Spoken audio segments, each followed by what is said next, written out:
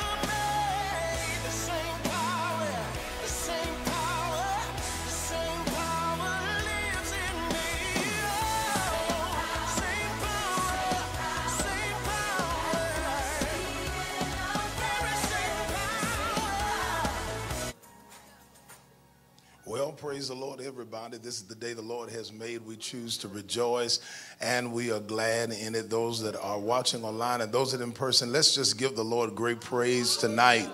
He is amazing. What an amazing God we serve.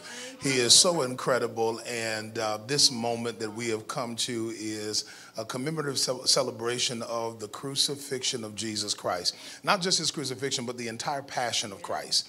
This entire week that is called Holy Week, amen, has uh, led us to remember all that he endured for our sake. How amazing is that? So you got to do your part and share this broadcast. Of course, we're on YouTube only tonight, and so I want you to text a friend, tweet a friend, share it with a friend. We're putting it on our social media platforms just to let everybody know that they can watch us live on YouTube. Incredible as it is that we're going to be worshiping together, exuberant in our, our praise, passionate in our worship, amen, and intentional, amen, in our sacrifice sacrifice. And tonight we get to take uh, of the Lord's Supper, the body and the blood of Jesus Christ. All right, I've been joined tonight with some amazing ladies. Amen. The wonderful, the amazing Miss Lady J. Yeah, yeah, yeah. And then, amen, the vivacious evangelist Antoinette. Glory to God. Amen. And so tonight we're simply here to just open this moment and this time of worship and gathering. Amen. With just a dialogue concerning the passion of Christ. Starting out with Palm Sunday, we know that this, this moment was so incredible that Jesus, while suffering, still takes time to celebrate. They embrace him in such an amazing way. Uh, but I got I, I can only imagine how he felt riding upon that donkey. Of course, he knows the end of the story. He knows where it lands, but it doesn't change the fact what he has to endure.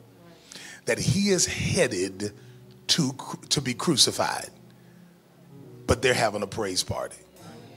I don't, I don't know, I don't know, just, just thinking about myself, I don't know how um, party friendly I would be if I knew I was on my way to die.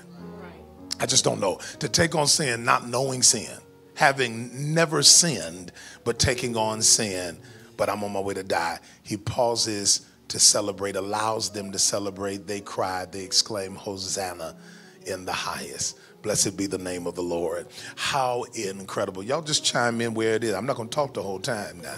Praise Him. Amen. Amen. Well, I, when thinking of Palm Sunday, that's one of like my favorite um, I think it's the best week to start Passion Week, right? Yep. You, you have to think, like you said, what's to come, but it all had to happen, even the way he came in, because this entire week, the crucifixion, him getting up, is all about fulfilling prophecy. Right. And so when we say like, well, because I, I, be me, I'm not riding in on no donkey. I don't even want to go because I already know what's about to happen. While y'all cheering, yeah. I already know you about to tell me, you about to say crucify to me just in a little bit, you know. But it, it's such an example to show us on how we can be fixed on the promise and be fixed on what is to come instead of focus on our current situation. Jesus is the example. He's the word made flesh. And so to have that example, no matter what we're going through, we know the end of the story. But at the time, they're they're not knowing what's to come, but he did, and he still we get we get thrown off with little hiccups and situations come we can't even focus but to see that jesus knew what was going to happen and even though you know like i had to ride on donkey i'm the king are you kidding me right now but he was so unbothered you know, like by the whole situation. And so us knowing the end and seeing it, the Passion Week start like that, I think it's so powerful. And it's just an example to us that just because we don't look like what the promise is or it doesn't look like where we're going, we can still ride with our heads held high. We can still do what it is God tells us to do, knowing the promise. But we have to remember it's all to fulfill prophecy. That's how it's that's how it started and that's how it ended. That's so good got to get excited about prophecy. And I think throughout all of Holy Week, it's, it, it is a continual reminder of how we should grab a hold of the word. And regardless of, of what you got to go through while you're in the tunnel, you know what the end result is going to be. I remember uh, Apostle said, think last week when he was talking about, we always talk about, um, or maybe that was a private conversation, but we always talk about the light at the end of the tunnel. But what in the tunnel? What are you doing? And the fact that he can still celebrate knowing what was going to happen, we get excited about it, but it was bloody, it was gruesome, it was tragic, it was horrible. I'm grateful that he did it, but the celebration alone just goes to show that you can celebrate even though you didn't get to where God told you you're supposed to be. You still know that there's still a celebration there because you know what the end result is going to be. Absolutely. I, I think I think what really you know moves me is the fact that this story, as dramatic as it sounds, is real.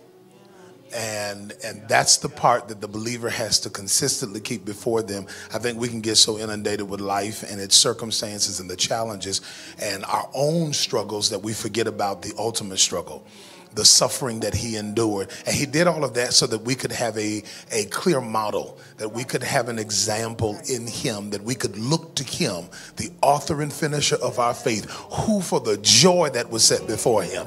That's the reason why he could go through Palm Sunday. That's the reason why in the same Passion Week he clears the temple. That's the reason why he uh, preaches his, his last message at the Mount of Olives. That's the reason why uh, he goes to the Last Supper be, being betrayed after that sitting there having dinner with someone you call a friend, knowing they about to trip on you. That's what's crazy. They're about to trip on you. And then the ultimate of it all, to get to the cross. To get to the cross. And beaten and scorned and mocked and all of these things that all of us, we would have been like, you know what? I think I'm just going to quit. I'm going to walk away.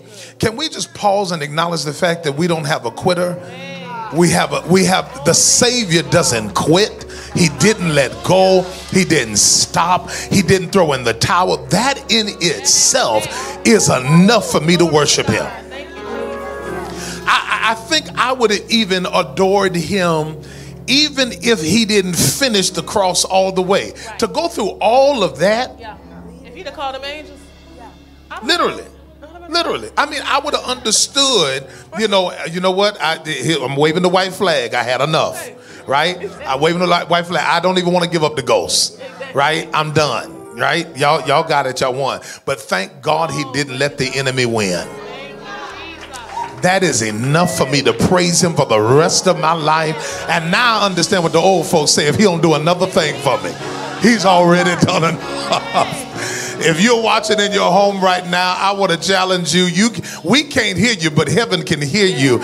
And Jesus is seated on the throne, listening and receiving your prayer and your praise. You owe him that right now. We ought to just take a moment and praise him for the fact that he didn't quit on us. Thank you. Thank you for being everlasting. Thank you for being all enduring. You're amazing when I think about the impact of the cross uh, and what it means, it brings me to an excitement for nights like tonight, yeah. where we get to hear the gospel preached. Yes, yes, yes.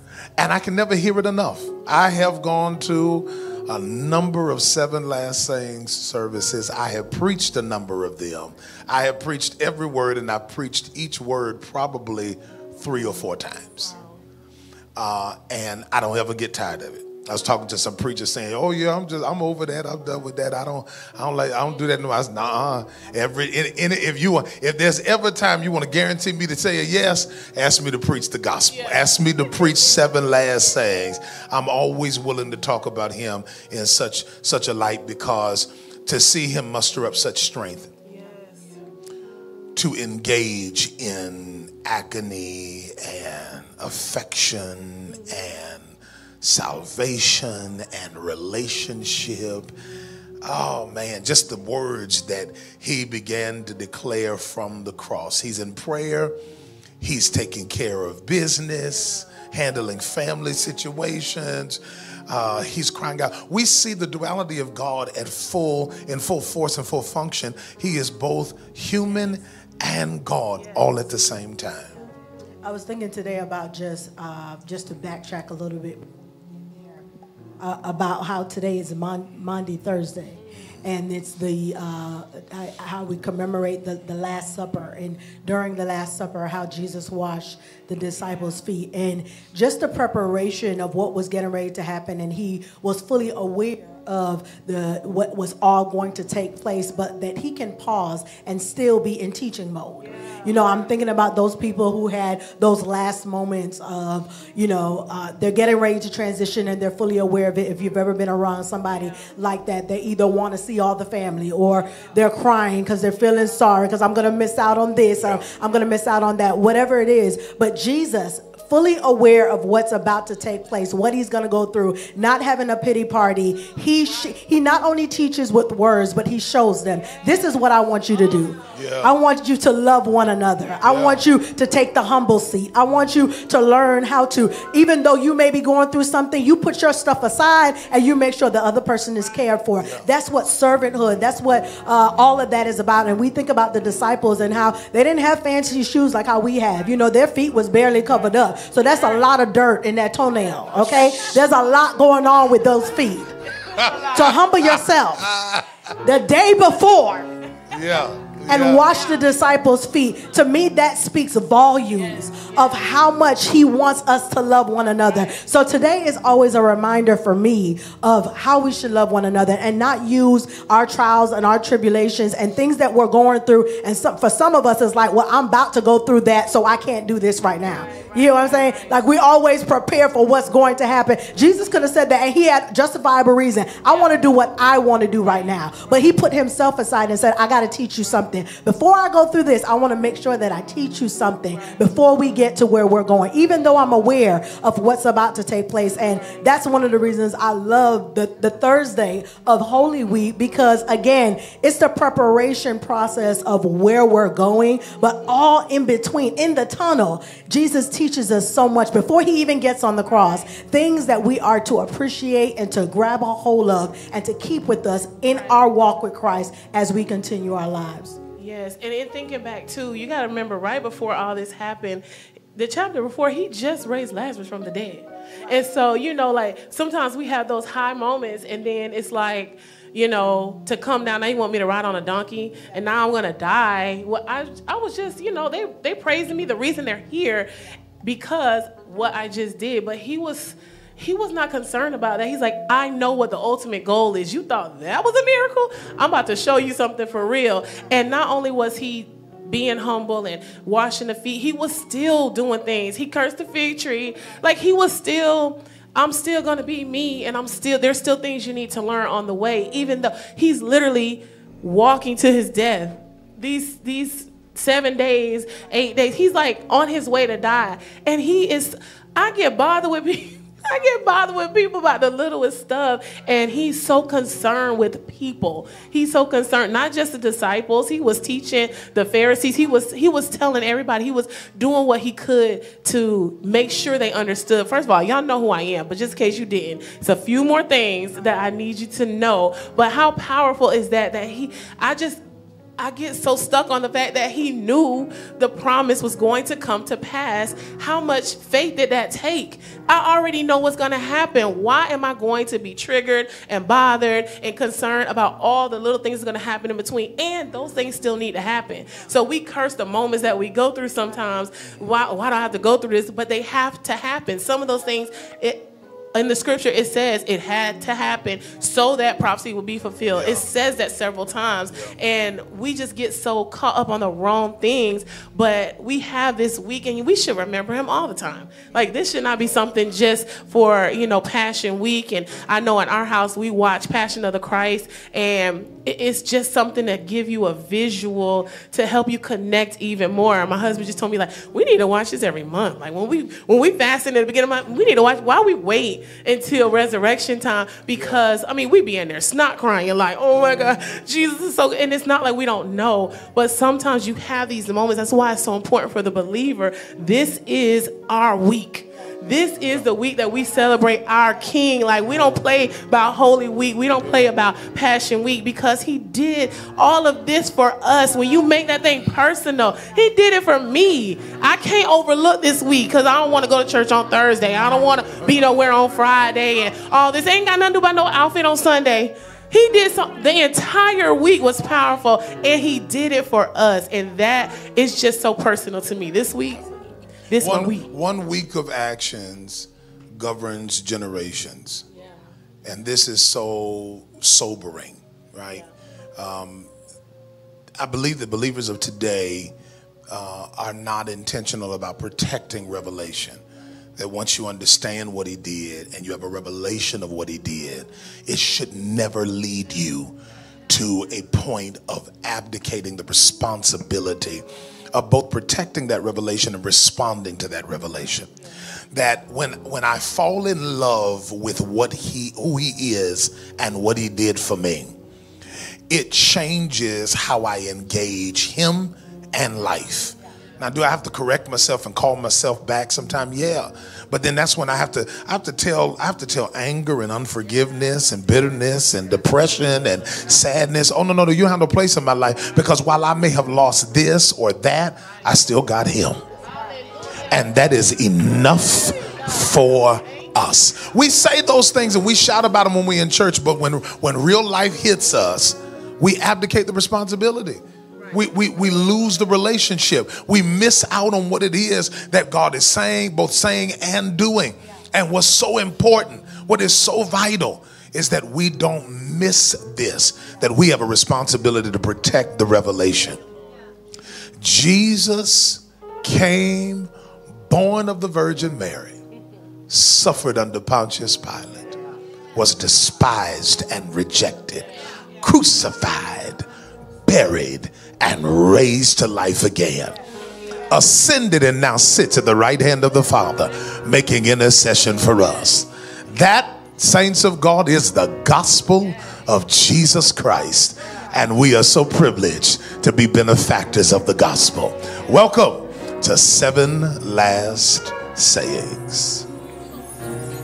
Good evening, everybody. This is portion of our service. It's the call and response. So if you would stand on your feet.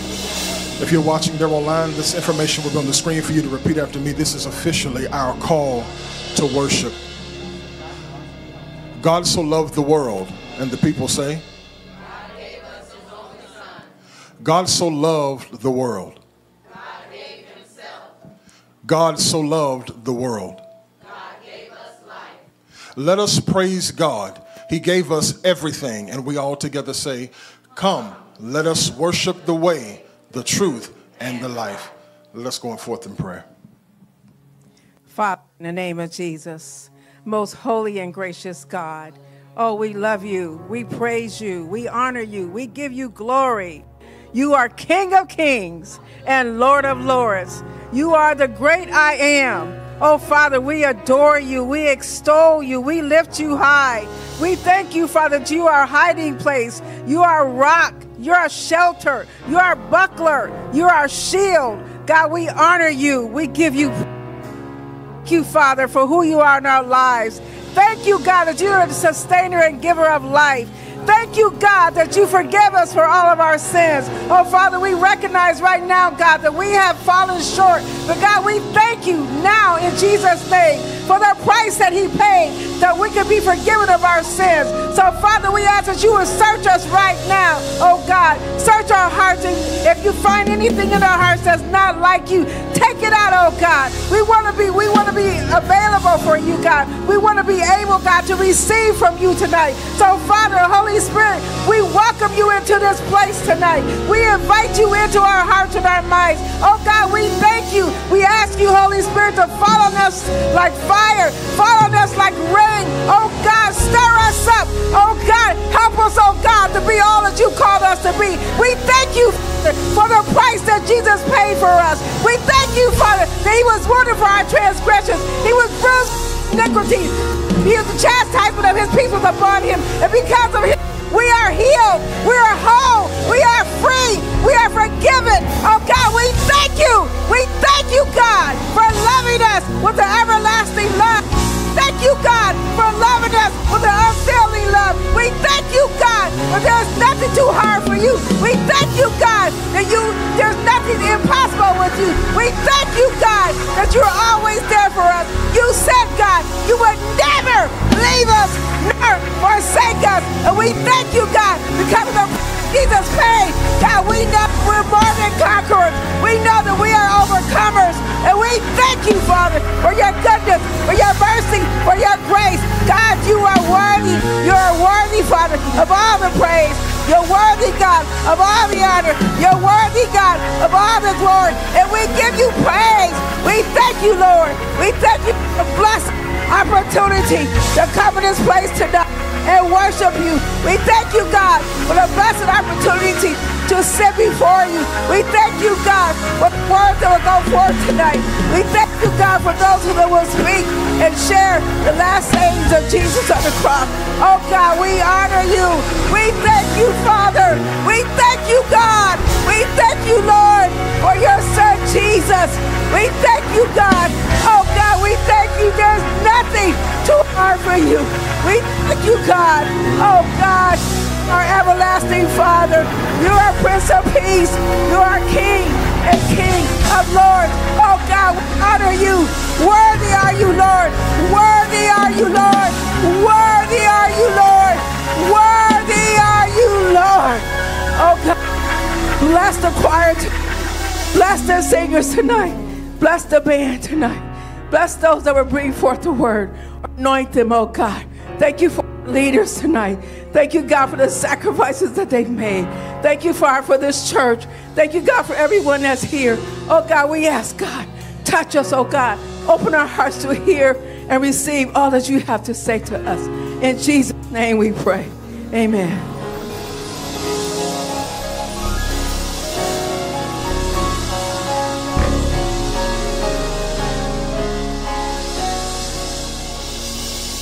Psalm 23, verses 1 through 6. The Lord is my shepherd, I shall not want. He maketh me to lie down in green pastures. He leadeth me beside the still waters. He restoreth my soul. He, re- he leadeth me in the path of righteousness for his name's sake. Yea, though I walk through the valley of the shadow of death, I will fear no evil, for thou art with me. Thy rod and thy staff, they comfort me. Thou preparest a table before me in the presence of mine enemies. Thou anointest my head with oil, my cup runneth over. Surely goodness and mercy shall follow me all the days of my life, and I will dwell in the house of the Lord forever. Luke 22, 19 and 20. And he took bread and gave thanks. And he brake it and he gave it unto them, saying, This is my body, which is given for you. This do in remembrance of me. And the 22nd says, Likewise also this the cup after supper, saying, This cup is the New Testament in my blood, which is shed for you. Hallelujah. Come on and put your hands together for the King of Kings and for the Lord of Lords.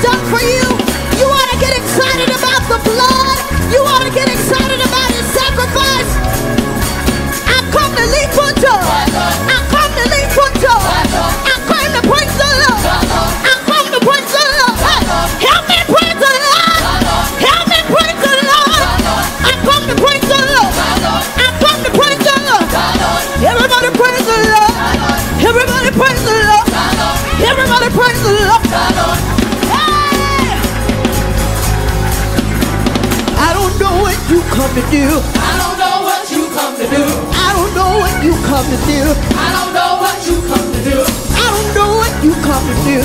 I don't know what you come to do. I don't know what you come to do. I don't know what you come to do. I come to clap my hands. I want to hear your hand clap.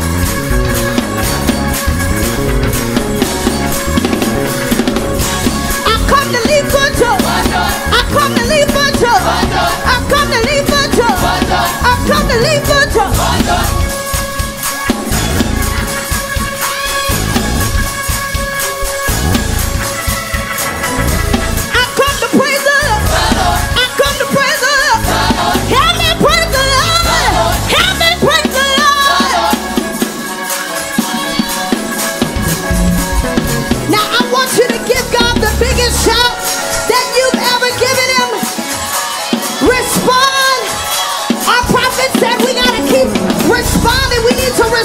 to the revelation.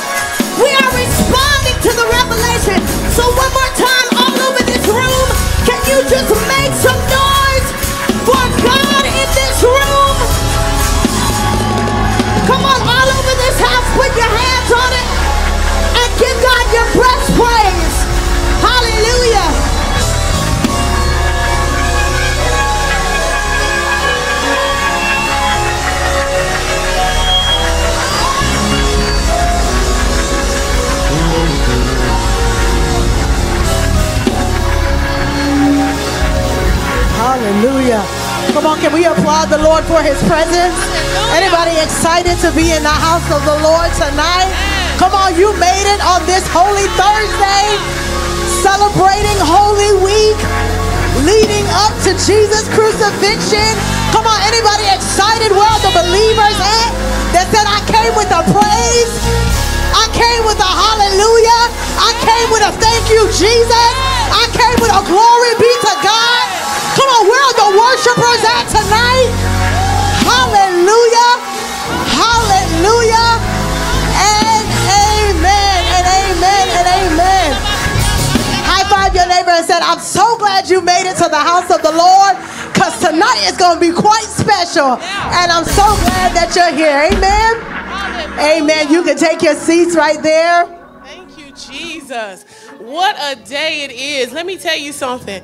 I get excited when I think about all that God has done for me. Okay? And He sent His Son Jesus, and Jesus gave His life for us. So I am so excited. I don't want you to take this night lightly. We are here to celebrate this week and this Passion Week and all that Jesus has done for us. So we want to make sure that we keep that in mind. If you are online, make sure that you are engaging in the service as well. We want you, we know you can experience the same anointing here right where you are. Amen. Amen. So we want to welcome you. If this is your very first time to Truth or to a Seven Last Sayings, can you just signify by waving your hand so that we can acknowledge you? Amen. Amen. We see that hand. We see those hands. Those of you that are online as well, thank you so much for tuning in. Our prayer is always the same anointing here meets you right where you are. So what we want you to do, those of you that are in person or if you are online, if you can take your phone out real quick, we want you to text guest G U E S T to 54244. Once you send that text, you'll get a link. Click on that link,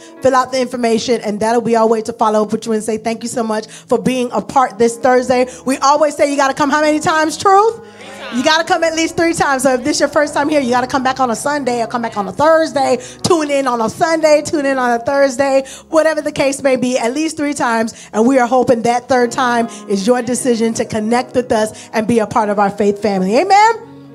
Well, as we mentioned, it's Holy Week, so we have a lot going on. This whole week we should be in church, period. Right. I don't know what happened Tuesday and Wednesday, but we should have been here. Okay, and so every we should be. Uh, uh, this is our moment where we acknowledge Holy Week, of course, and uh, leading up to Sunday. So let's let's give our announcements Yes. that's coming up, the things that are coming up. So Sunday is Resurrection Sunday. We know everybody. He everybody got goes up. to I heard you. I love that. He got up and so can we. Amen. This ain't no bunny. Okay. It's not no Easter bunny. What what is even an Easter bunny? Oh, Do they even exist, Easter bunnies? Huh? I don't know. I, it's no bunny is what I'm talking Exactly. about. Yeah, we talking about, It's about Resurrection Jesus. Sunday. Right. Yeah. So everybody goes to church on Easter. That's so right. we want right. to make sure that you are in the house. You want to invite everybody you know. This is the time to get your family in the house, your friends, your co-workers, those that you've been asking to go to church and they've been saying like, nah, not really. Everybody go to church on Easter. So you want to make sure that this is send a text tonight, send a text tomorrow, the rest of the week, and let's fill the house to celebrate the resurrected King. Amen. That's right. That's at 9 a.m. So even if you got to send them a text 7:30 to wake them up, And pick them up. do what needs to be done to get them in the house of the Lord. Amen. That's it. And then it is also Big Giving Sunday. I wish somebody would get excited about that. We are coming out of the series of giving, and oh my God, Apostle has taught us on a whole nother level, and we are excited to bring our season. This is one of the first. This is the first time I think we're doing it on Resurrection Sunday. How exciting is that? So Big Giving Sunday and Resurrection Sunday is this Sunday, and we are believing God for some big things. So that is that opportunity. And then Sunday night. Sunday night. Somebody say Sunday night. Sunday night. Heaven's pour. It's a night of worship. We're going to come together and worship the King. It is Resurrection Sunday. So you'll have time to leave, go eat, get you a nap, and come back to church. and let's worship together. Let's worship Jesus for all he has done. He deserves our time. Amen. Amen. So we're going to be back here on Sunday night, 6:45 p.m. It's just a night of worship to give that to our God. Amen. Amen. Well, real quick, what I want you to do is just jump up and the person on your right and your left, just give them a hug and say, I'm so glad you made it to the house of the Lord. Just show some love on this Thursday. Say, I'm so glad you're here. Let's show the love of Christ right here in this moment. That's fine. You can go over two people. That's good. Those of you that are online, make sure that you are greeting somebody. Go in the comment section, tag them, invite them to be a part. If you see somebody you know, holler at them and say, hey, I'm happy to see you right here. Let's tune in because the word is getting ready to come forth.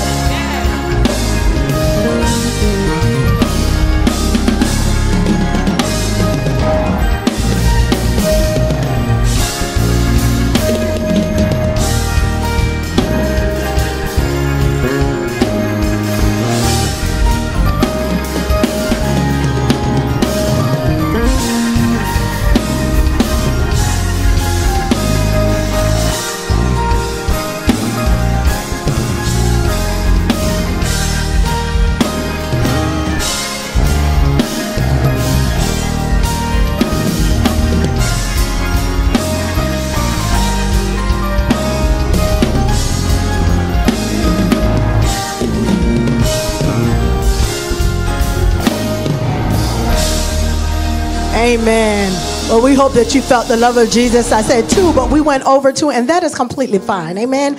What you're going to do is feel love here at Truth Nation. Amen. Well, this is a very, very special night. Something that we do uh, every single year, and I get excited about it because we have the opportunity to witness, to hear the seven last sayings of Jesus. For those of you that may not have heard it before or not sure what it is, the seven last words, seven last sayings of Jesus were the words that was spoken um, by Jesus while he was on the cross suffering and in pain and in agony, uh, was beaten, was mocked, was, was uh, mocked, was humiliated. Now he's on the cross and he utters these seven last words while he's on the cross. These words are filled with love. These words are filled with forgiveness. This word, these words are filled uh, with emotion, great emotion, but is also out of his suffering. So it takes a great effort to put forth, to be able to speak in a time where you're hurting the most, right? And so uh, in this time, we have an awesome opportunity to hear from commentators of Calvary to express these seven last sayings in the person of, I'm going to uh, introduce all of them at one time because they'll be coming up back to back, but it will be uh, from uh, Brother Lamont. Come on, give it up. Minister Ashley Hainsworth, Deacon Wanye. Brother Purnell, Sister Esther, Minister Christina, and Brother Janavis. And I want you to push them. I want you to press them because I know that you are going to receive something tonight that's going to literally change your life. But before we get started, we have to set the stage. And so I want you to give it up for our man of God, Apostle Andre Williams, as he sets the stage for us. Amen. Well, praise the Lord, everybody. Jesus is Lord to the glory of God. If you love Him and if you're saved and glad about it, would you make all of the noise that you can?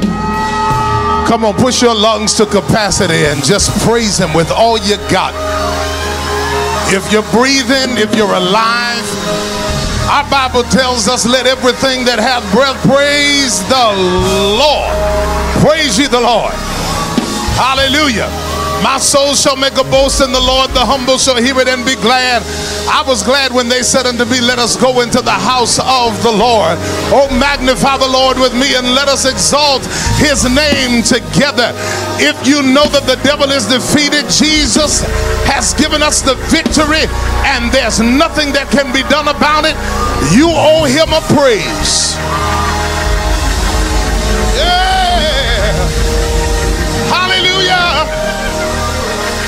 Lord. How amazing is our God. Would you high five somebody on your left and your right and say, There's nobody like our God? And as I said in the opening, we must protect our revelation. And a part of that protection is locked within your response. When you hear the gospel, if you've been impacted by the gospel, you've been saved by the blood of Jesus, snatched out of the hand of the enemy, redeemed from the grip of Satan. If you know you're on your way to heaven, glory to God, and you're happy about it, let me hear you respond tonight.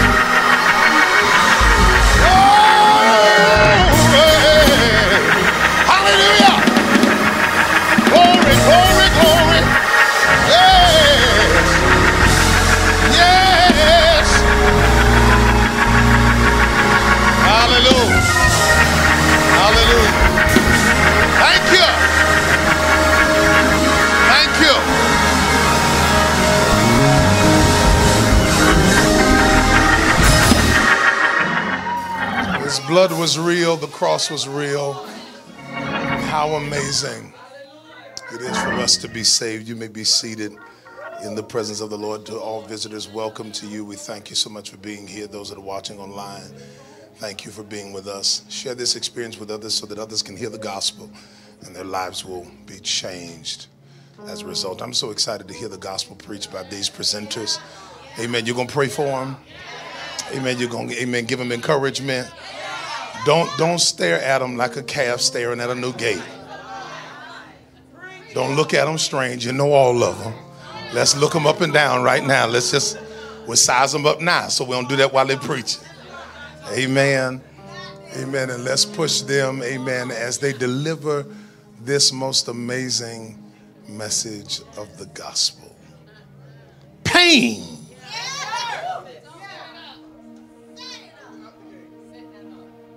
Racking his body. He has come to die. This, this was not some Hollywood drama. This wasn't some playwright's imagination. This was Jesus. Jesus. The little baby that they had come to adore is now a man.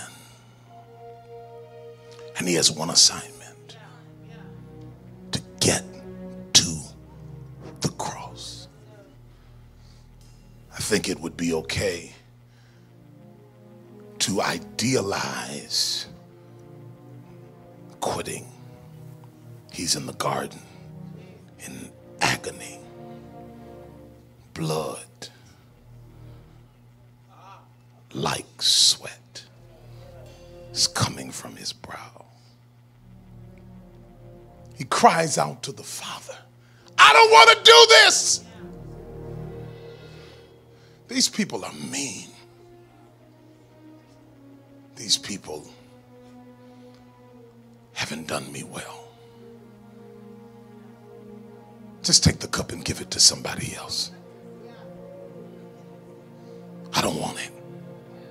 I'd rather do something else. Give me another task, another assignment, not this. I don't want to do this.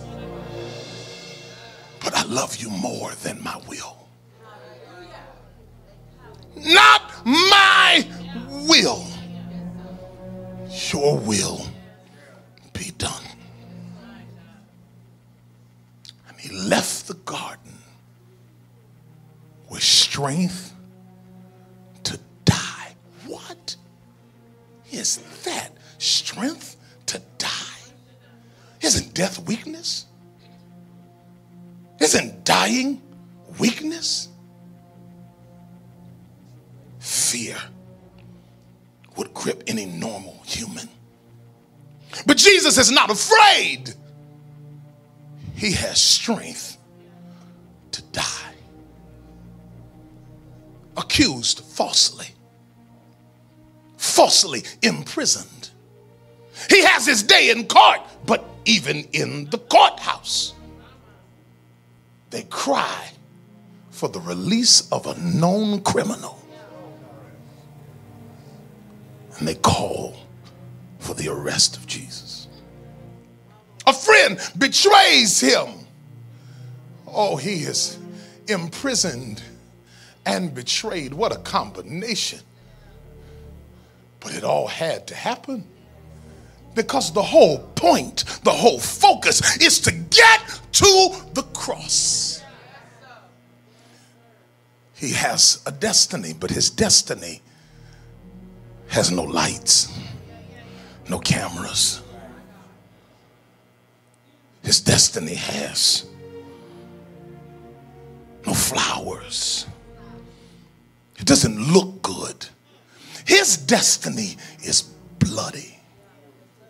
Yet, with great passion, he is running to the cross. So that for generations to come, others would run to the cross.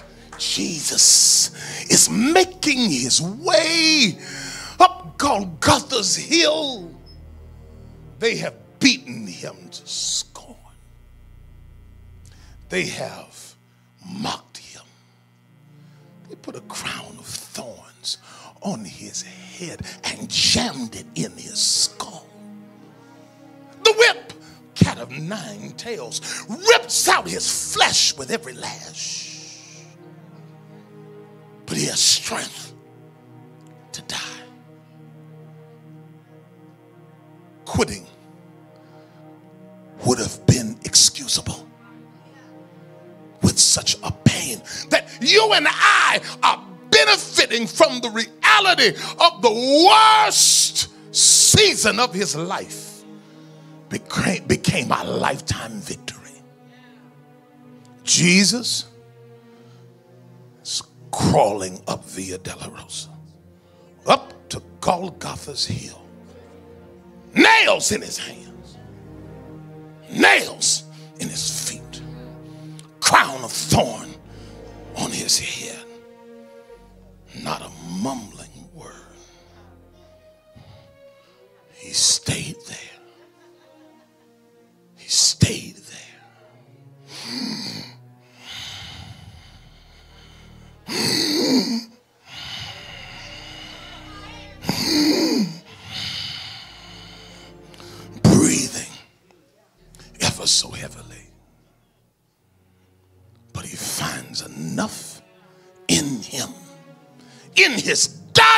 Moments, to say seven last words.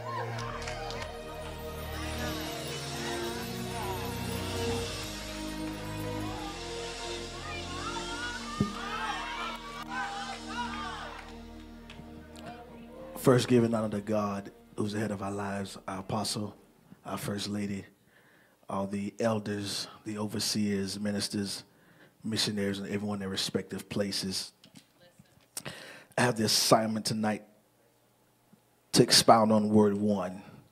Father, forgive them, for they do not know what they do. Look at your neighbor and say, Neighbor, they didn't know. No, that wasn't the right neighbor. Look at the next neighbor and say, Neighbor, they didn't know. Let's explore how we got here. Luke 22 starts with the plot to kill Jesus. Jesus and his disciples are preparing for the Passover.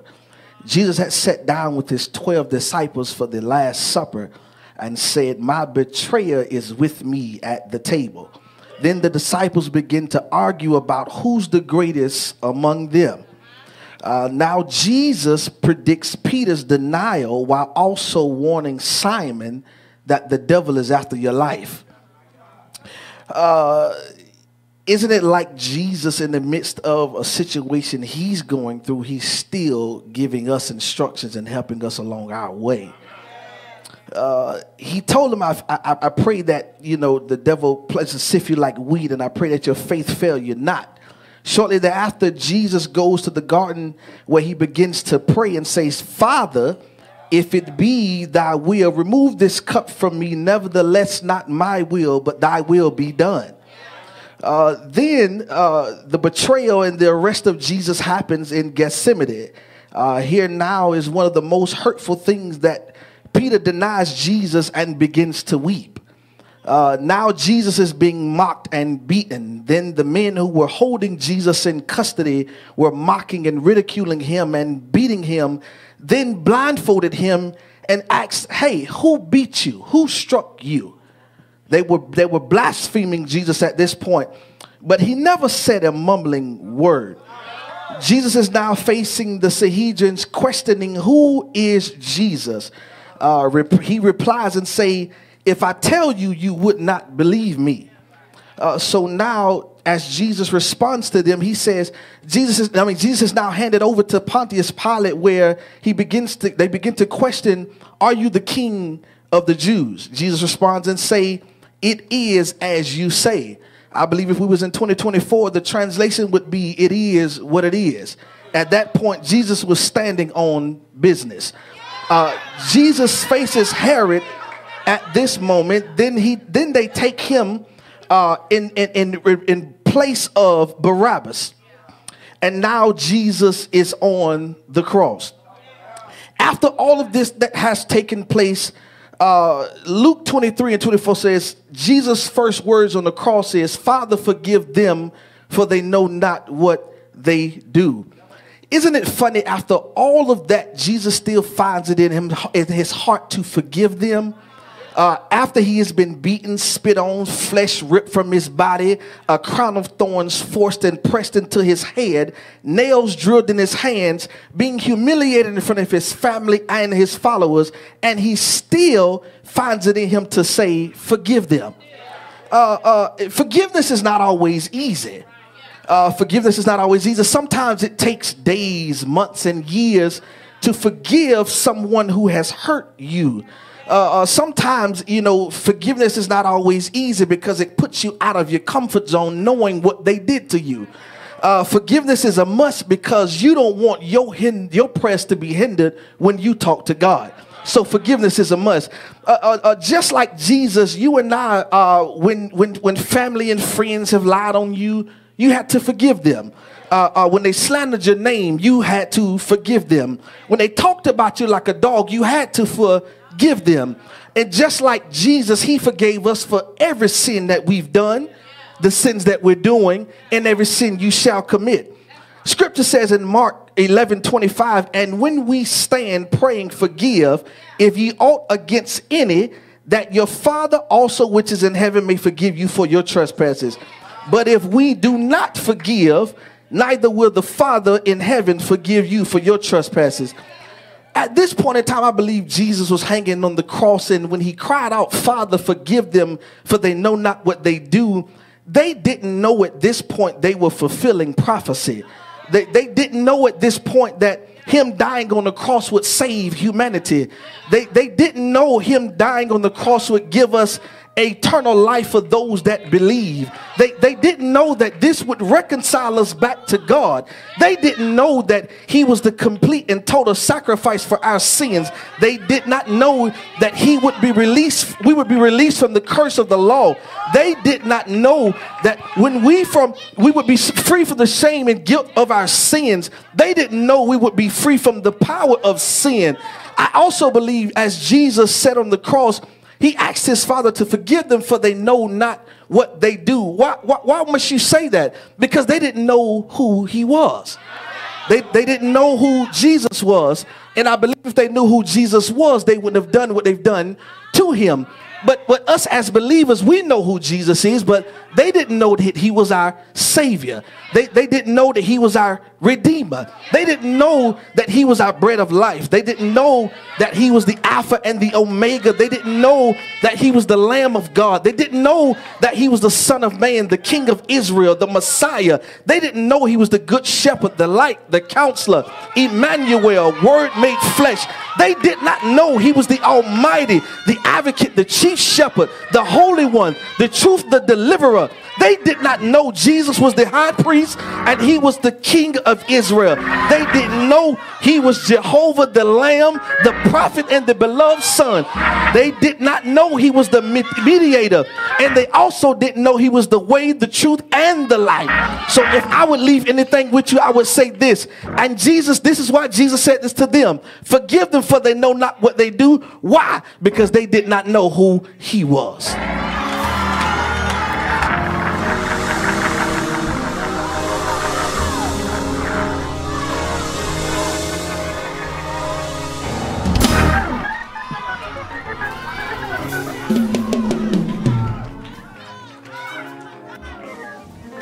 An eternal invitation.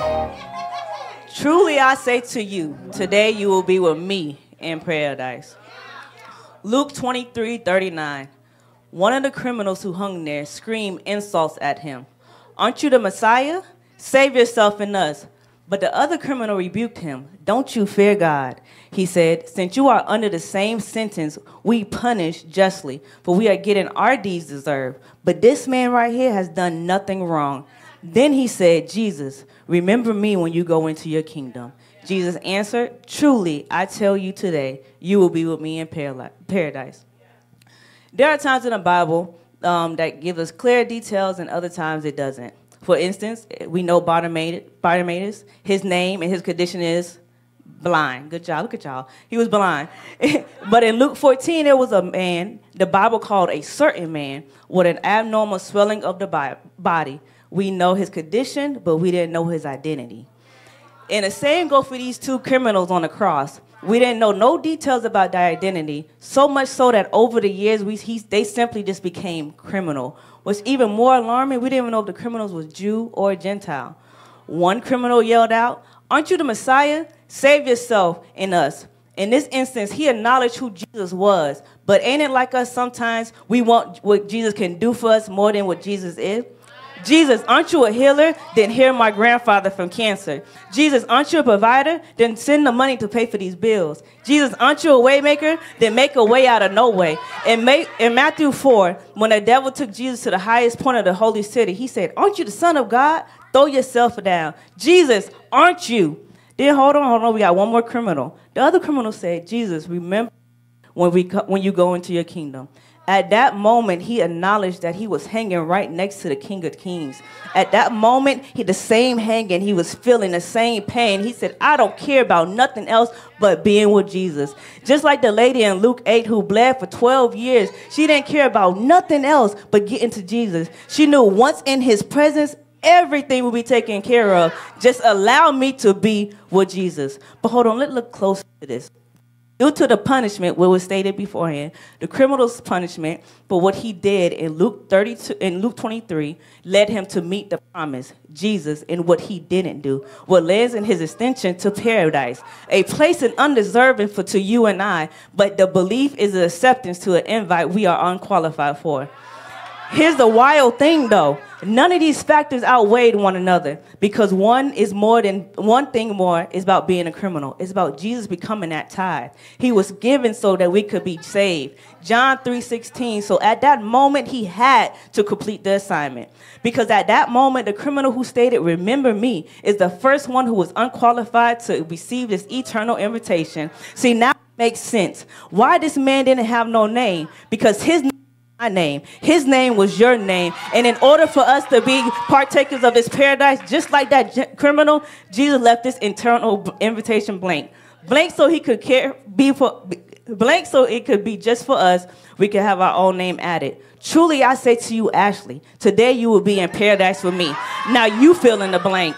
Now, now let's talk quickly about paradise and being with Jesus. When I looked up paradise, I read God's, God's park.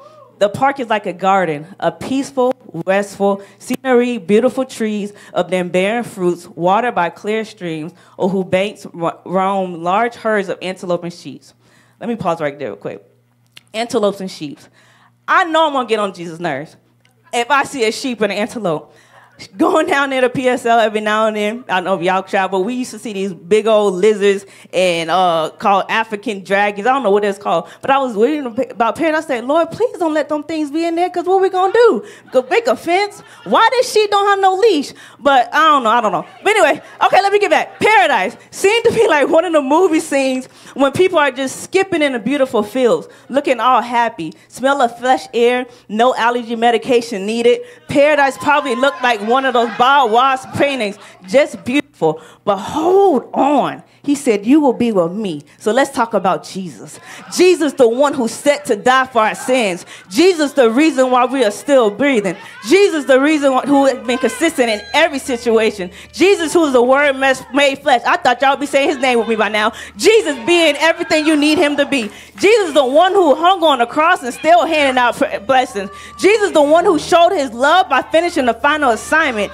Jesus, the host to invite, the only host to invite to the paradise. Jesus, the only one who is qualified to issue the kind of promise. All we know, all qualifications only come by way of completion. See, the exciting part about all of this is that we will be with Him. The addition will be in paradise. But hold on, let's go back real, real quick. My time going out. Let's go back to that criminal who told Jesus to remember me. The criminal was operating in principle of salvation to the completion of Jesus' course. But because the qualifier, Jesus, is both the author and the finisher of faith, through belief in Jesus, the criminal was extended a great eternity, because of his belief. So let's look at Jesus' response again. Truly, I say to you, you prophetess, you evangelist, you deaconess, today you will be with me in paradise. I'm going to leave y'all guys with a question though. How is it possible to have an invitation when the job wasn't even completed yet? That's like, that's like somebody promised you a house without securing the house prom- promise, but only hoping they'll get it. How? Because Jesus was the only one qualified. So will you accept the eternal invitation? Because truly, I say to you, today you will be with me in paradise.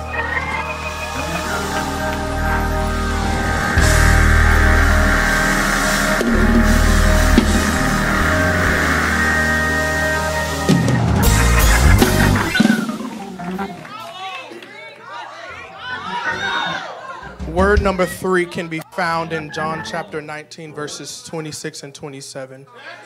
When Jesus saw his mother there and the disciple whom he loved standing nearby, he said to her, Woman, here is your son. And to the disciple, Here is your mother. And from that time on, the disciple took her into his home. I have a problem with Jesus here. With the, with the massive amount of blood loss, the dehydration, the hypoxia, the pain, the agony, he hasn't eaten. There has to be some form of delirium that Jesus is experiencing. You had enough strength in word one to call on your father and tell him, Forgive them, for they know not what they do. You were fully aware and had a full dialogue with the thief in word two and extending salvation to him and telling him that he will be with you in paradise. But here we get to word three, and it seems as though all regard, respect, and uh, compassion for your mother, the one who was chosen to carry the Savior of the world, and she had so much joy, the one who raised you and helped you to develop, the one who nurtured you through life, the one who's experiencing the worst type of pain that any parent can encounter. She's watching her own son be beat, she's be, be beat and be lied on, and have his very flesh ripped from him. But you see her and you call her woman. I think about how my father would call for family meetings at times. We knew we were good in the house when he would call us by name. He would say, Wanye, Cash, Jazz, y'all, let's talk. So he was good. But oh, a fear that rose in the husband when he came in the house and said, All y'all, come here, we need to talk. There's something scary about a we need to talk. Because when you take take away our names it takes away that connection that individuality. It takes away relationship. But here come to find out all they want my parents wanted was to just have a family meeting. They just wanted to talk so that they can see that we can rely and depend on them through whatever conversation that we needed. So if i were to place a topic today it would be just a family meeting. Interestingly john is the only one to have a count of word number three. You have to understand the custom of this time. It was the responsibility of the oldest son to take care of mama when the father had died. Jesus is seen here on the cross having a family meeting. And he is trying to make sure that his mama was straight. If I can just insert it, remind you that the word of the Lord is God is about to make sure you're straight. Can you remind your neighbor on your left and your right that God is about to make sure that you're straight? Oh, they didn't, they didn't, y'all didn't say that like you believed it. Tell the neighbor behind you that God is about to make sure you're straight. Woman can be considered a, both a term of endearment. It can be considered disrespectful depending on the context and the relationship. But before I go any further, I have, I, you have to understand that this is not the first time that Jesus has called Mary mother. I mean, has called Mary woman there's duality in his assignment, which is what I want to talk about. Here in John chapter 2, if you go back, he's at a wedding in Galilee. Jesus is trying to enjoy the festivities when, when they run out of wine. When they run out of wine. Mary tells him the situation. He responds, basically, woman, that ain't none of my business. He tells them to, but anyway, he tells them, all right, fine, go get me some water. He goes from chilling in the wedding to now he's bartender. We'll talk about it later. But the point that I'm trying to make it the point that I'm trying to make here is that his function changed when his name was called. The same woman he used in John chapter 2 is the same woman used here in John chapter 19. He is functioning as son and savior all at the same time. When he said woman in John chapter 19, it wasn't to be disrespectful, but he was telling her, woman, let me let watch me work again because you've already seen me do this before. He's handling his family business, making sure she had shelter at John's house, but you also have to he was also making sure that her spirit and all of us had eternal shelter. First Timothy 1 and 5 in my close here, it says, This I trust this is a trustworthy saying, and everyone should accept it. Christ Jesus came into the world to save sinners. I am the worst one of them all. Jesus came into the world to save sinners, not to leave us as sinners, but to deliver us from being sinners. John chapter 14, verse 6 says, Jesus answered, saying, I am the way and the truth and the life. No one comes to the Father except through me. You have to understand that Jesus is what we need from him. He doesn't have to, he doesn't have to do because he is. On the cross, he wasn't saving, but he is Savior. On the cross, he wasn't delivering, he is deliverer. On the cross, he wasn't healing, but he is healer. You have to understand who he is. You have to understand who he is. He is our safety. He is our healer. He's our deli- deliverer. The name of the Lord is a strong tower. The righteous run in and find safety. You have to understand that I can trust and depend on him. Hebrews 11 and 6 says, But without faith it is impossible to please him. But first, but but for, for he that cometh to God must first believe that he is. Do you believe that he is? He is mother to the motherless. He is father to the fatherless. He is friend when you're lonely. He's doctor in the sick room. He's lawyer to in the courtroom. He's your battle axe. Do you believe that he is? I close by saying, all I said all this to say that I can depend on God. My grandmother used to sing a hymn that through the through the storm, through the rain, through the sickness and the pain. I can depend on God. Be not dismayed, whatever betide you. God will take care of you. Beneath his wings of love abide. God will take care of you. God will take care of you over all the way. God will take care of you through the days of toil and the heart doth fail when dangers fiercest and path assail. God will take care of you over all the way. Here, all I may need, he will provide. God will take care of you. Nothing you will be, nothing you ask will be denied because he will take care of you through every day, over all the way. God will take care of you no matter what the test. Lean on the weary one when upon the press. Through every day, he will.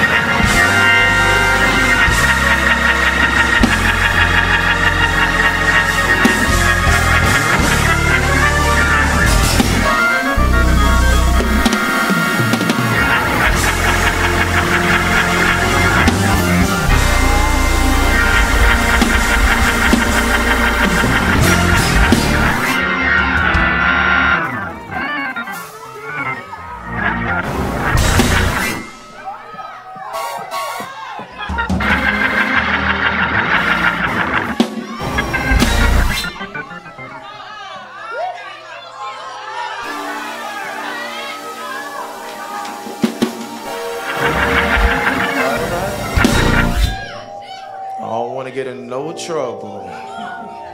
Can you look at your neighbor one time and say, neighbor, he will take care of you. Hallelujah.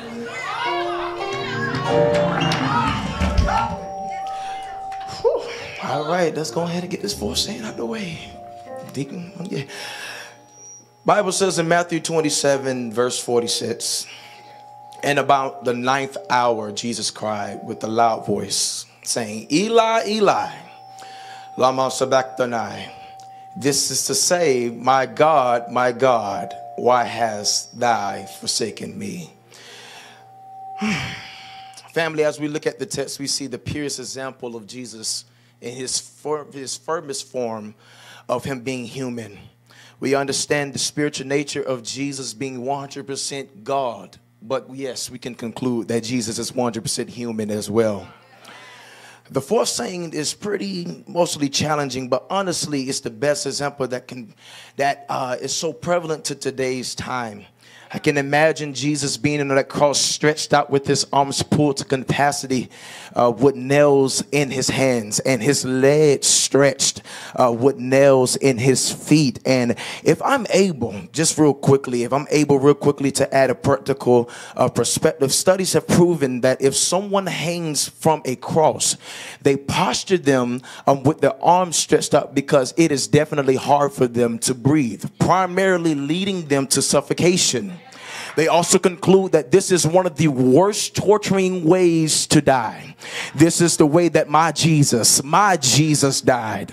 And if we was in the mindset, or when I realized in Jesus when he stated, Eli, Eli, lama sabachthani, what he was going or what he was dealing with in his head, one moment being brought in with high praise, screaming, Hosanna, Hosanna, to now screaming, crucify him. One moment entering into a city on the back of a donkey, stated in Matthew 21, now carrying a cross, burying him uh, with crowns of thorn going through his head. Flesh beating and being ripped fresh, uh, being beat, beaten and ripped off this body limb from limb. But if we can put ourselves in Jesus' shoes just for a brief moment, we see the physical and mental torture that Jesus is now bearing on that cross while being taunted, mocked, spit on, even signs of humiliation. But Jesus had a human moment in that moment. He says, God, why have you forsaken me? While in that moment, Jesus was yet suffocating and gasping for air. But in this ultimate moment of level or a level of sacrifice, sacrifice is happening everywhere. Sacrifice is happening here and there from here, this perspective of our Lord and Savior Jesus Christ. Matter of fact, can we look at from the perspective of our Father God? Our Father God had to give up his only son, being referenced in John chapter 3, noticing his sacrifice was being, noticing that his sacrifice was getting ready to change the trajectory of our whole world. Even while Jesus was yet on the cross, high and lifted up, being humiliated, he still understood that he was still setting examples. How? I'm so glad you asked me. If he didn't let them nail him to the cross, they wouldn't know what redemption looked like. If they didn't let him deny or reject him, they wouldn't know what forgiveness looks like. If they didn't let him beat him 39 lashes, I wish I had a believer in here, they wouldn't know what healing looks like. I can't imagine, I can imagine as a parent watching my child go through so much torture. Would you try as a parent to save your child? Try to change the way that they're being beaten or beating for things that they didn't even have to deserve. But I understood Jesus being 100% human. He also was 100% God. Can somebody say 100% God? The Bible states in Matthew, uh, thy kingdom, Matthew chapter 6, thy kingdom come, thy will be done. If we can tap into the mindset of Jesus just for a moment, uh, I believe Jesus would say, I know my flesh is weak. Um, I understand uh, that my feelings are yet pouring out. Uh, but if I can realize this was Jesus' conclusion, this was the reality of Jesus, my feelings uh, doesn't outweigh my Father's will. I'm gonna one more time. Uh, my feelings, everything that I'm going through, uh, it doesn't outweigh my Father's will. Mhm. Uh, Bible states, I uh, Bible study uh, when he was in the Garden of Gethsemane, he had plenty of moments to give up, plenty of moments uh, to throw in the towel. I understand that this life uh, may have been thorn. People have lied on him. Uh, people have taunted him, uh, but nevertheless at my will, but your will be done. I am a firm believer in my closer. I'm a firm believer that the Bible says, I will never leave you nor forsake you. Mhm. Do you not know that that promise was found in the Bible over 25 times? That same promise that was given in the Old Testament, that same promise he was yet given in the New Testament. Mhm. Uh, that same promise that he gave your grandmother. That's the same promise he gave your parents. And we might as well go that that's the same promise that he gave you. huh?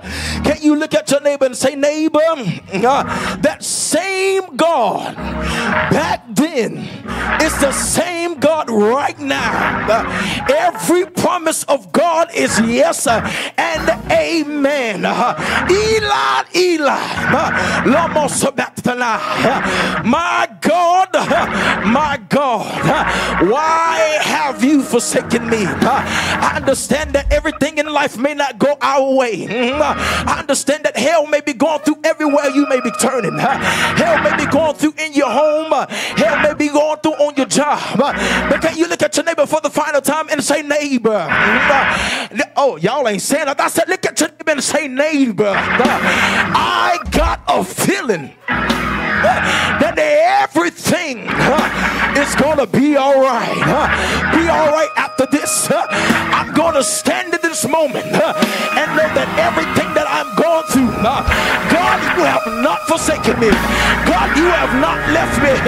Can you look at your neighbor one more time and say, neighbor? Eli, uh, lama sabachthani, uh, my God, my God, why have thou forsaken me?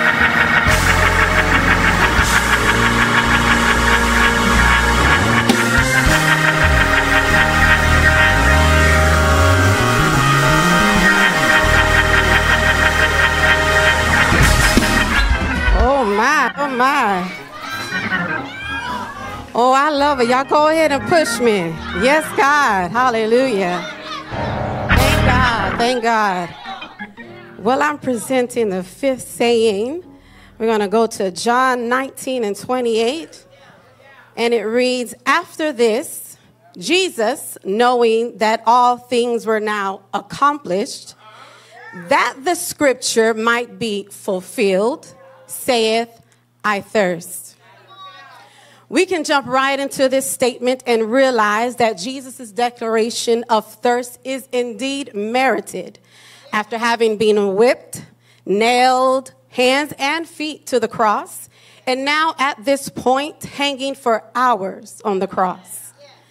I myself work on just the second floor of my office building, and to merely claim I have worked out for the day, I often take those two flights of stairs to my floor. By the time I make it to my desk, I have sufficiently exhausted myself to thirst. I think some of you have felt exhaustion just from me here, just from hearing the word stairs. Uh huh, I get it, I get it. Yeah. The reality is that this is a very humane response that we see Jesus have reached in the text. It's not a made up response, for he is God in human form and feels everything we ever have or will feel, even thirst. Jesus' condition is critical at this point, yet still he remains focused on the assignment given to him. The assignment a commandment by God to inhabit earth as the ultimate sacrifice. He, Jesus, out of obedience, voluntarily does so. Them, being one, shared the same unimaginable love for us that while we were yet sinners, he was whipped. While we were yet sinners, he was scorned. While we were yet sinners, he was sinners, he was pierced, he was bruised, and he hung. And now he thirsts. The God form of him could have ended it all at this point. He could have pulled what we'll say an Esther moment and say, No, that's about all y'all gonna get out of me. I am through. Y'all are crazy. And I know y'all about to try me with that vinegar, so I'm gonna just stop this right now, right here. But what good would that have done to forfeit the integrity of the scriptures by doing this? As we recall, at the start of the scripture, we found that Jesus' statement fulfilled scripture. Hmm. In Psalm 69 and 21, David prophetically points out this very moment Jesus is in. He says, They gave me also gall for my meat, and in my thirst gave me vinegar to drink. Jesus, in the midst of such a tragedy, despite this tragedy, still remains focused on the goal of rescuing you and me. He must make this statement so that the enemy's next move proves he is who he's been saying he is all along. So when the enemy thinks he's got the upper hand, we know that all working for my good. I don't know if that's the right key, but y'all know that song. And yes, they, even they, are a part of the grand plan. Isn't it wonderful that the inclusion of tragedy around us does not intimidate our God from fulfilling his word towards us? No matter what the situation looks like, he is a God that can and will see us through.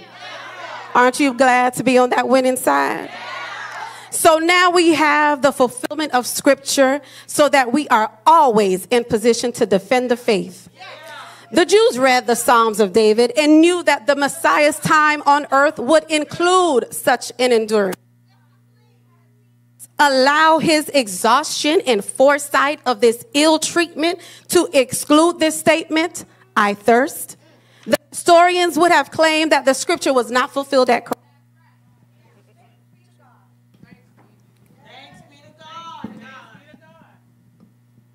Thanks be to God. Jesus made sure to cover that. The text's fulfillment, the text says fulfillment of scripture. But in our days, colloquialism, we say things like, He dotted every I and crossed every. Uh huh. He ate that and left no. The teenagers are, scri- are cringing, so I'm going to spare them the rest. Yes, that's all right. At the end of the day, the message is still the same. Jesus' act was perfect and complete. In John 6 35, Jesus says, I am the bread of life. He that cometh to me shall never hunger, and he that believeth on me shall never thirst. We'll never have to pay the price he paid, for he has forever quenched our thirst through the shedding of his blood. We don't have to thirst for the things of this world. He quenched that. We don't have to thirst in despair for healing and deliverance. He quenched that. We don't have to thirst without hope for goals and opportunities. Uh-huh. We don't have to thirst for redemption and salvation because on that cross, so the next time the devil tries to lure you away with deceptions, depressions, and discouragement, roll your eyes and walk away and say, Oh no, he quenched that.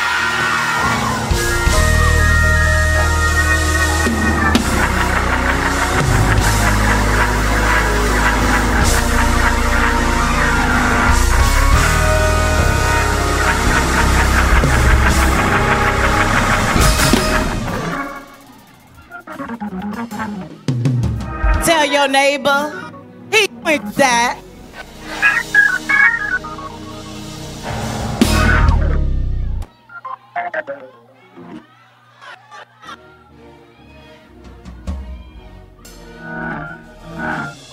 So the sixth saying comes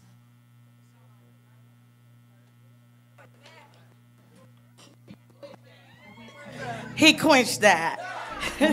so the 16 come from John 19 and 30.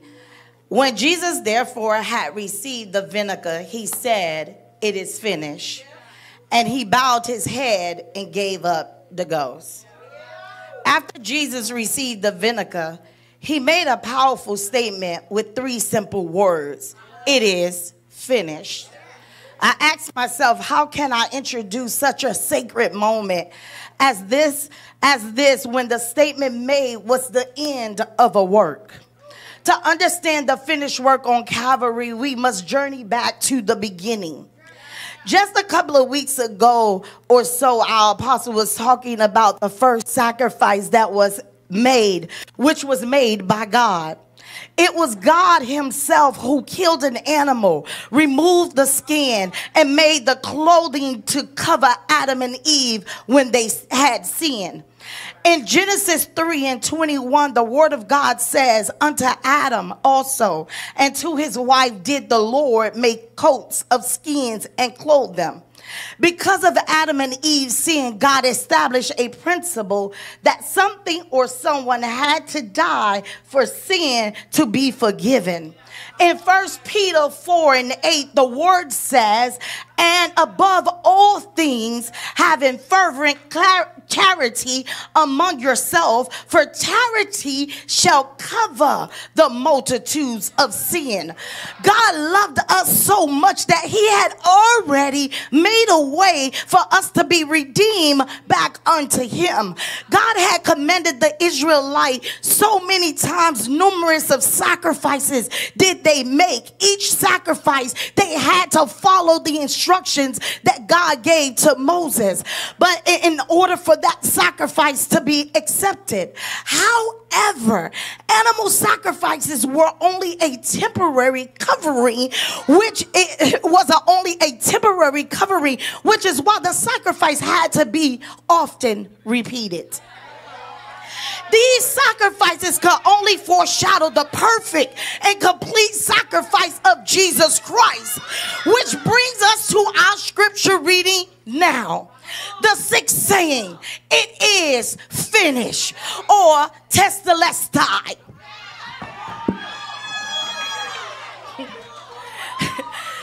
Jesus could confidently say it is finished as his work on the cross was finished. I wanted to point out three things that took place on the cross, and this is why Jesus could say it is finished. First, the prophecies of scriptures were fulfilled that about his life and death in the Old Testament, as well as foreshadowing of his coming. It was in Exodus when God sent the last plague on the Egyptian, the death of the firstborn. He commanded Moses to speak to the Israelite about the sacrifice of the Passover lamb and to smear its blood over their doorposts. In doing so, this will cause the, the destroyer to pass over the houses of Israel, sparing them from death. Jesus is the fulfillment of the Passover lamb. who sacrificed the who sacrificed to cover the sins of the world. You can read this in 1 Corinthians 5 7 and 1 Peter 1 and 19. It is because of him that we have eternal life. John 3 16 says, For God so loved the world that he gave his only begotten Son, that whosoever shall believe in him shall not perish, but have everlasting life. We are the whosoever. Secondly, on the cross, the judgment of sin was completed. A price needed to be paid. God placed on Jesus the sins of the world. And by doing that, it fulfilled the requirement of just judgment. We are reminded of this in Isaiah 53 5 through 6. But he was wounded for our transgression, he was bruised for our iniquity. The chastisement of his peace was upon him, and with his stripes we are healed. All we like sheep have gone astray. We turn everyone to his own way, and the Lord laid on him the iniquity of us all. Jesus became the once and for all ultimate and perfect sacrifice of God. John the Baptist knew this because when he seen Jesus coming, he said, Look, the Lamb of God who take away the sins of the world. According to 2 Corinthians 5 and 21, he knew no sins, but he took on the sins of this world that you and I could become the righteousness of God. And lastly, through the shedding of blood, forgiveness was made available to us.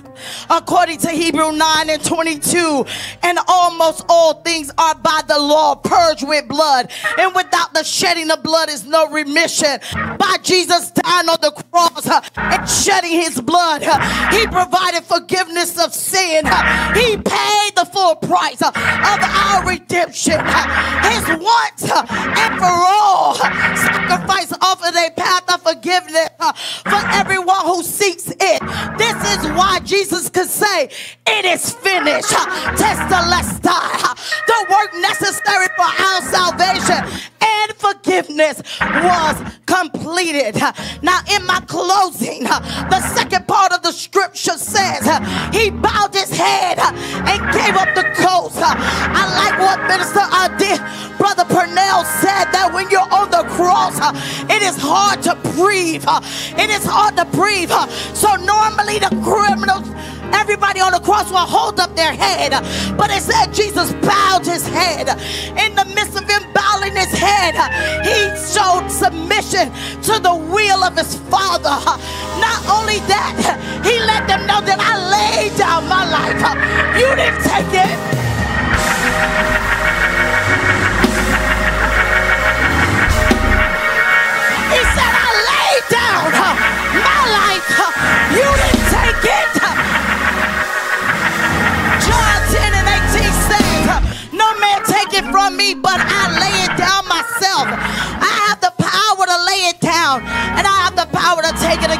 The commandment I have, I received of my Father. And it was in Luke 22 and 42, saying, Father, if thou be willing, remove this cup from me. Nevertheless, not my will, but thy will be done. Jesus obeyed the will of his Father. And because of that, you and I, if I could sing, I will sing a song. And it will be the song from Shekinah Glory that says about Jesus. He loved me in spite of me because he knew I wasn't fit to die. He died just for me. He can't, he said, I can handle it, daughter. I took care of it on the cross for you. I took care, bore it on the cross for you. Nobody but Jesus. Or if I had to sing another song, the other song would be Amazing Grace. How sweet the sound that saved a wretch like me. Was lost, but now, but now I'm found. It is finished.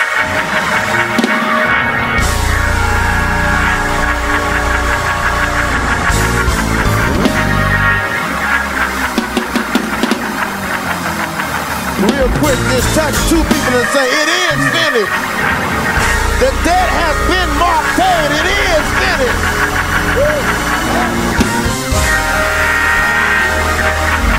I feel like running through troops and leaping over walls. Hallelujah!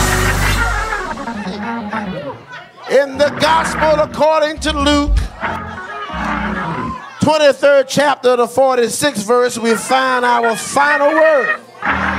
Jesus cried in a loud voice, Father, into your hands I commend my spirit. And having said thus, he gave up the ghost. For the few moments, I just want to talk about the cry of a Savior. Now, in this context, as Brother Purnell said in the fourth word, he talked about cry. But that cry was a verb. That was something that he did. But in this context, we're talking about cry as a noun. And as a noun, it's a loud shout or scream expressing a powerful feeling or emotion. Now, in the fourth word which we heard, that was a cry of pain and agony. It was a cry of desperation. He was at the peak of his pain and his suffering. And while he was going through that, he looked up in the heavens and it as if his father had turned his back on him. And that is why he said, My God, my God, why hast thou forsaken me? But in this text, it says he cried with a loud voice, not a soft voice, not a faint voice, not a whisper, but a loud voice. But see, this cry was not one of desperation. This cry was a cry of joy and fulfillment because he knew that he had come to the end to pay a debt. Woo! God, I feel like preaching. Now he said, Father, into thy hands I commend my spirit. Commend in this text means to entrust for care or preservation. So at this point, every facet of the law had been fulfilled. Every prophecy had been accomplished. The price for sin had been paid, and communion with the Father had been restored. Jesus had finished the work he had come to do and had drained the cup of bitter woe. And so he entrusted his spirit into the hands of his Father. Last point of the text says, and he gave up the ghost meaning he freely released his spirit man unto the Father. He breathed. I like this one theologian said when he gave up the ghost and took his last breath, he breathed out his human soul. Hey. He dismissed his spirit man into the divine care, leaving his bruised, battered body in the tomb. After he had said, Father, into thy hands I commend my spirit and gave up the ghost. This is one of my favorite parts. The Bible tells us that he hung his head in the locks of his shoulder and he died. Since I'm the last one, I think I'll just go ahead and go there for a minute. Look at your neighbor, say, neighbor, he died. All that Jesus had done wouldn't have amounted to anything if he didn't die. Remember that he was the Passover lamb, so he had to measure up in every way. God told Moses and Aaron in Exodus chapter 12 select a lamb on the 10th day, separate it, and slay it on the 14th day. So he had to measure up in every way. We would have understood if he just decided, you know what, I done did this part, the blood then came out, Michael, Gabriel, come on, take these nails out, we going home. But he decided, he decided this wasn't no weak, sorry man who was in the wrong place at the wrong time. He made a conscious decision to die. Look at your neighbor and say, He died. Died till the sun stopped shining. Died till the centurion soldier smote himself on the breast and said, Surely this must be the Son of God. And then Joseph of Arimathea came and he got Jesus' body and put it in his brand new tomb. I don't think he might let Jesus borrow his tomb because he know he only needed to borrow it for the weekend. He died all by himself. He didn't have no help. When he died, he thought of Janavis. He thought of Elijah. He thought of Stephanie. He thought of Wanye. He thought of your don't have it. He thought of your sickness. He thought of your disease. He died. Hey, he died. Put him in the grave. I like this part. Songwriter said Jesus went to Calvary, save a wretch like you and me.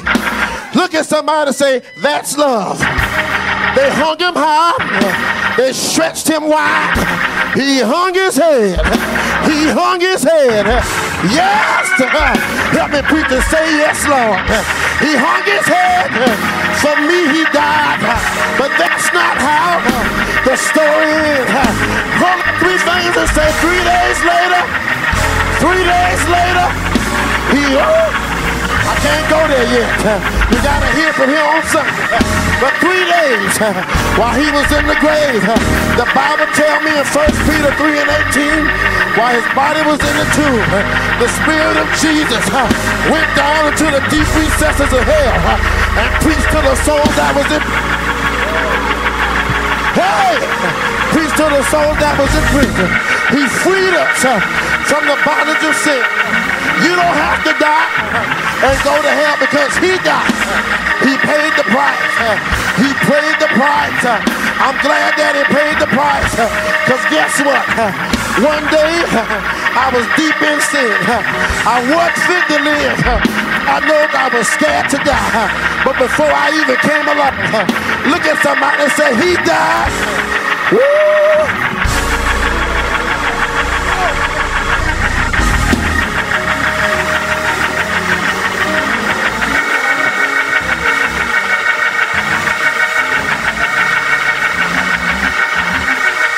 Grab your neighbor's hand and shout, neighbor. Jesus went to Calvary to save a wretch like you and me. Now holler out, that's love. And I thank God for it. Yes. Oh, yes. Come on, you want to praise him with all your heart.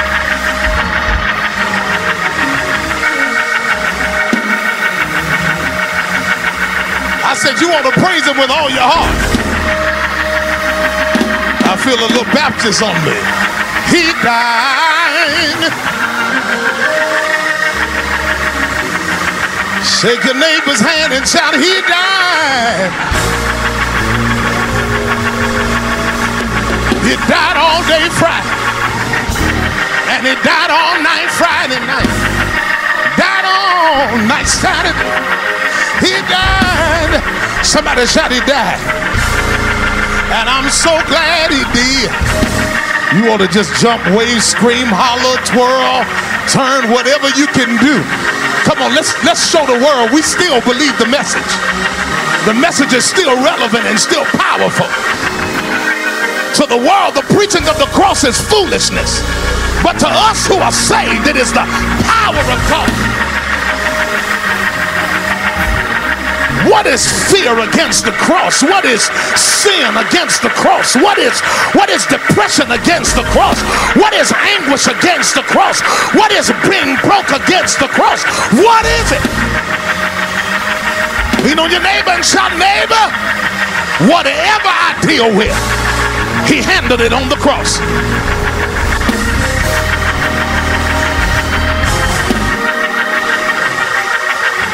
Yeah, yeah, yeah, yeah. I'm waiting on a real believer who's protecting their revelation to give earth a response right now.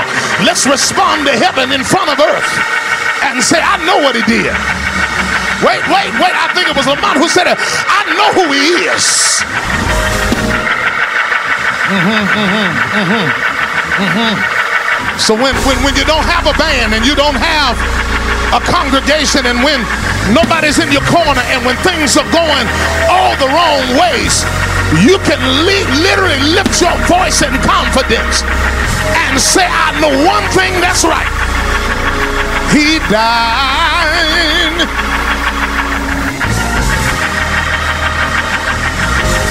We'll get him up on Sunday, but aren't you glad you know how the story ends?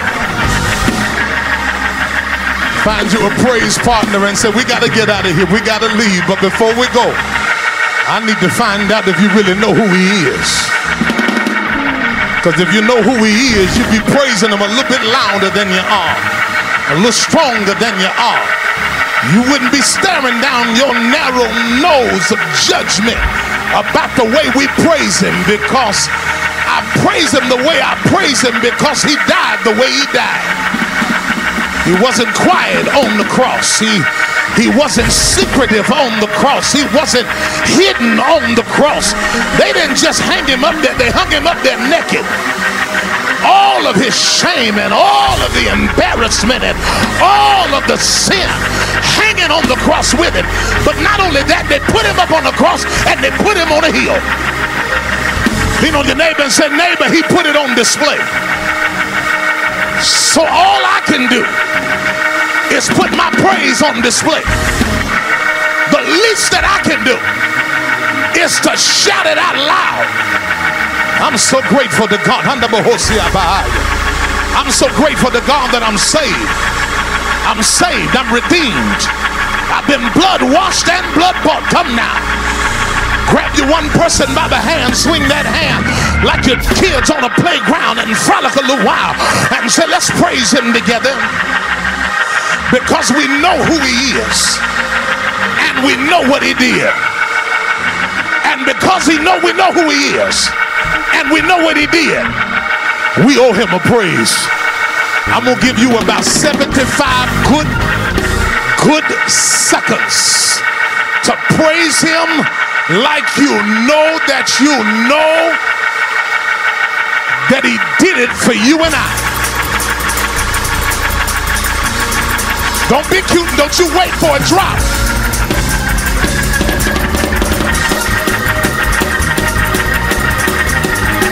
Some folk might say, we don't need all that. It don't take all of that. Maybe for you.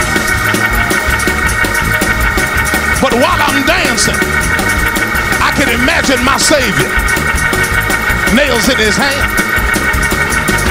nails in his feet, crown of thorns. And I can imagine while he's up there, he's talking to cancer and saying, I got you. I'm defeating you right now. I can imagine he's talking to blood diseases and saying, You can't hold my people. Not after today.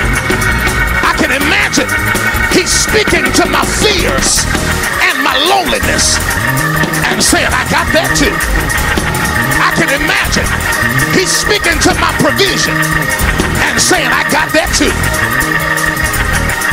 Whatever you need from the Lord, whatever you need from the Lord, whatever, whatever. Your neighbor and say, neighbor, don't be cute with your praise. Don't you hold back. Put your feet on the floor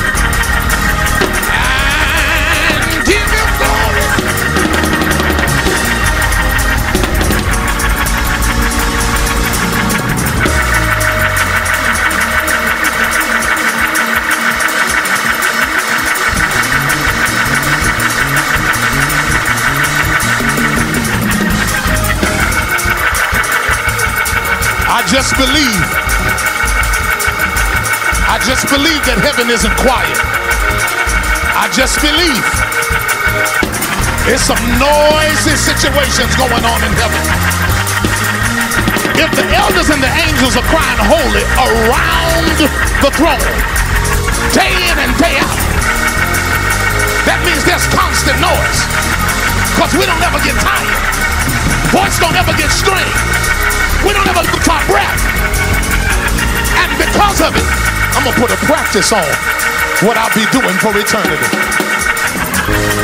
I need everybody in the building. Open your mouth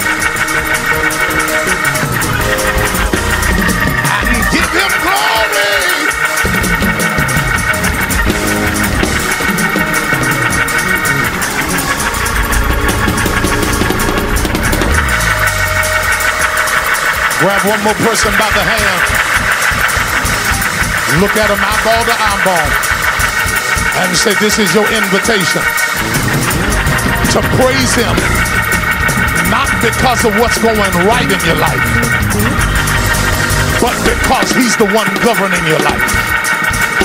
That even in the wrong, he got you covered. Anybody know it? That his hand is hope. We used to sing it as kids.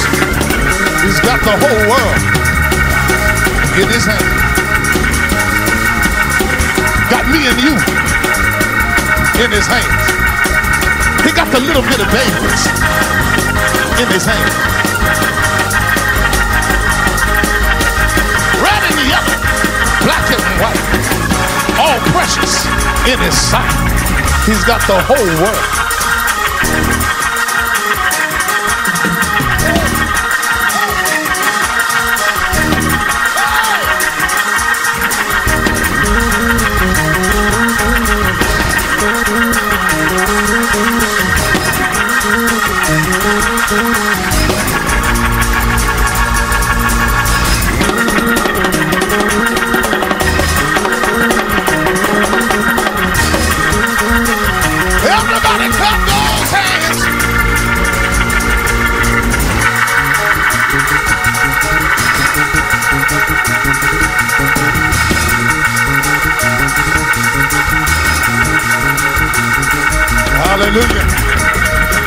Jesus, this praise is unto you. We give it all to you.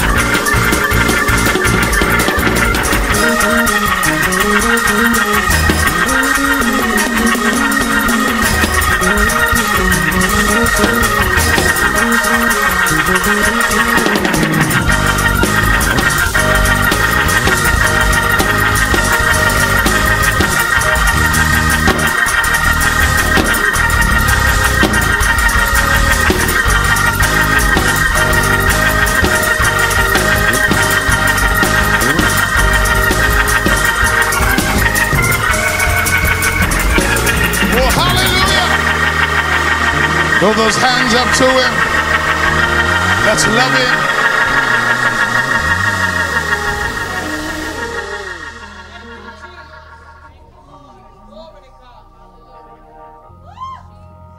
Thank you, Jesus.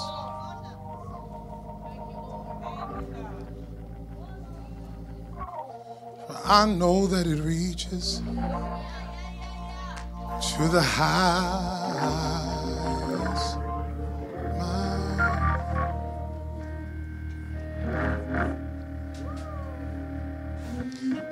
it flows to the lowest.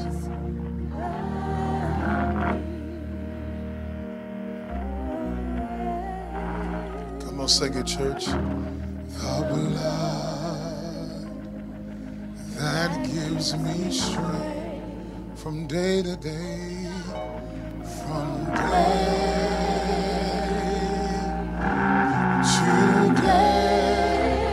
Come on, say it, it won't ever.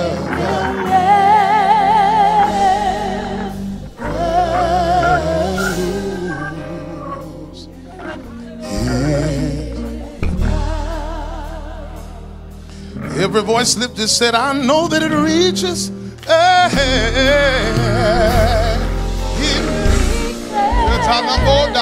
Highest.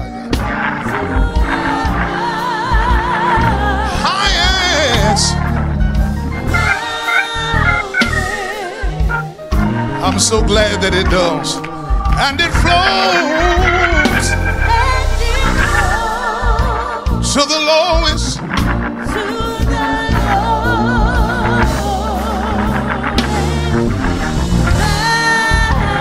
Aren't you glad that it reaches?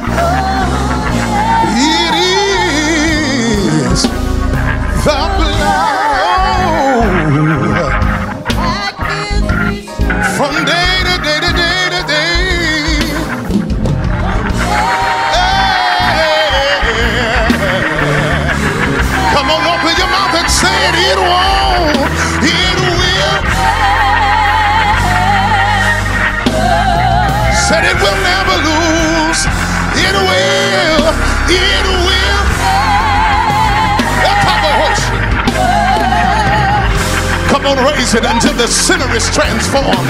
It will. Until your mind concludes. It won't ever lose.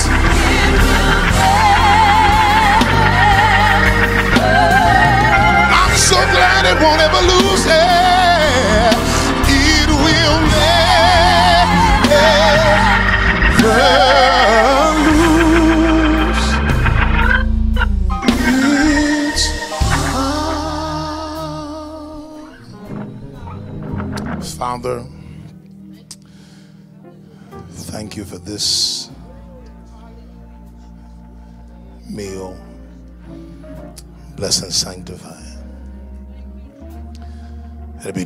Our bodies. Thank you that you take sickness and disease away. Bless our bread and our water. Satisfy us with long life. God, we give you the glory. Tonight, God, forgive us of all of our sins and cleanse us. Father, thank you that you were helping us. That even tonight, God, we're able to forgive and thereby we are forgiven. Tonight, Jesus, we don't take your sacrifice for granted. You've done it for us. Tonight, we are saved by grace through faith. And it's not because of us, but it is the power of God. It's because of your mercies that we've not been consumed. Jesus, we say thank you. Thank you for the blood. Thank you for your sacrifice. Thank you for redemption. Thank you for forgiveness. As we receive this bread and and we drink this cup, I thank you, Father, that everything that's wrong is being corrected by the blood of Jesus. Every pain, every ailment, every issue, every dilemma, every bad decision comes subject to the blood of Jesus. All of our needs are met in abundance. Provision is secured. And you get the glory. In Jesus' name. And the believers said, Hallelujah and Amen. It will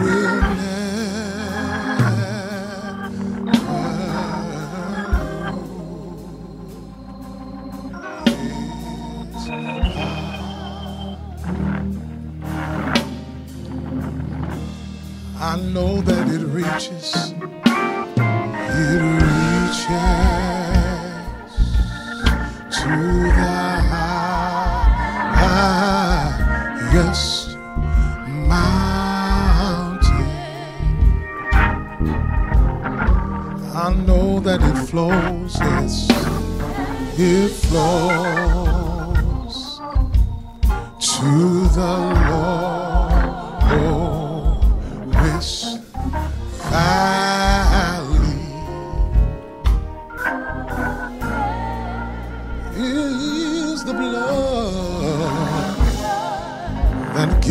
strength from day to day, from day to day.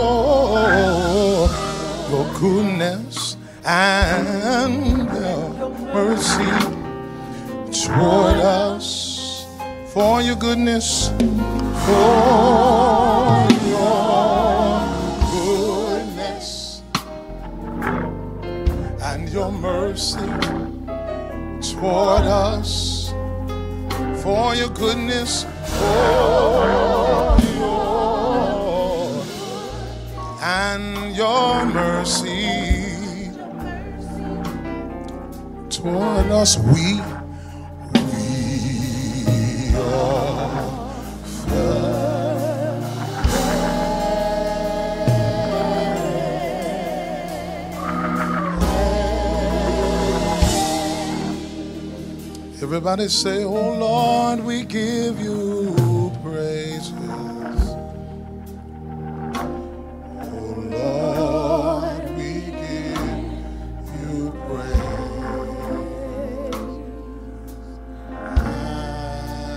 Let's raise that bread to the Father. Oh Lord, oh Lord, we bless your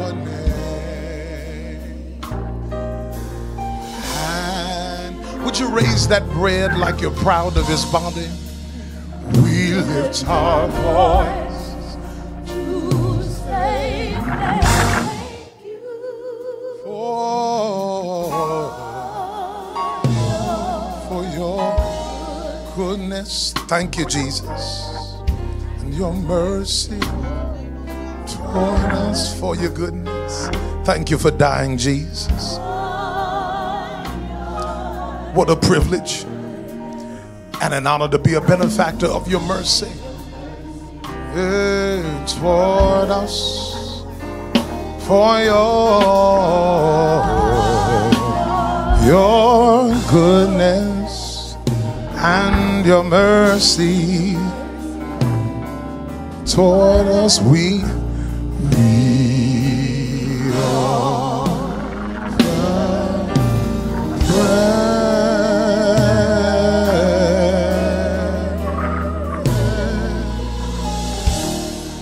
night in question, this very night that is commemorated tonight, Maundy, Thursday, Jesus sat with his disciples and he break bread with them. He said, I can't eat this because I'm not done yet. But this will be the last of our meals together. He did so because the future of the church were, was in the hands, being put in the hands of those who sat with him. I want you to understand this that receiving of, receiving of the body and the blood of Jesus is bigger than just my sins being forgiven. My sins are a part of it. But what must be embraced and or understood is that my partaking of his body and blood is a sign of trust. I'm trusting you with the future. These that have ministered tonight, it's a privilege for us to stand, no matter how vast the crowd is or how small it may be. Whether it's one on one ministry or thousands who hear your voice and influence, it's a privilege because He's trusting you with the future of His bride. Tonight, we don't just commemorate the sacrifice that paid the penalty for our sin. We say thank you for the trust.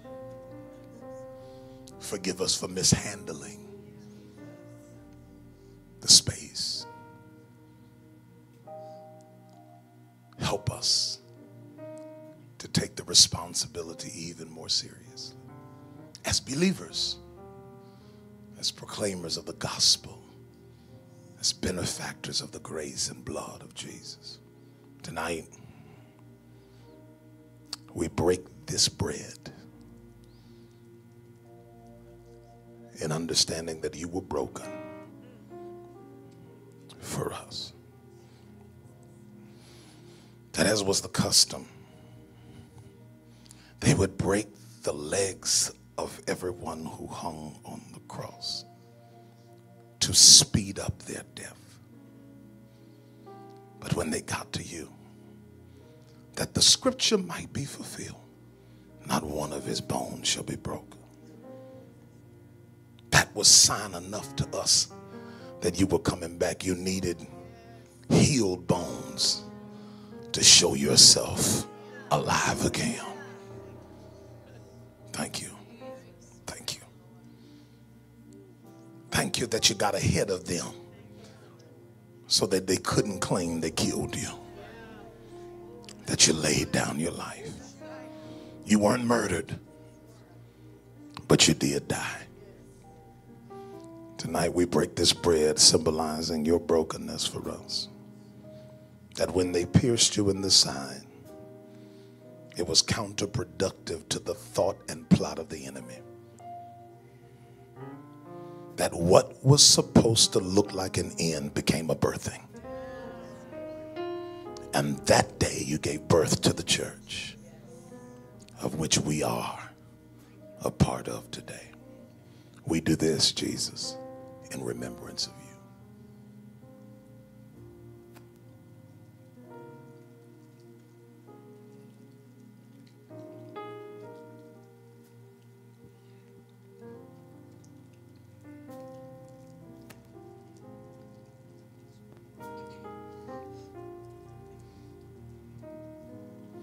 He invited them that day into a class, a grouping, a family that he trusted that they would hold well, as is his call and expectation of us today. He trusts that we will hold it well. That I'm not some outsider. I'm not a visitor in the kingdom of God.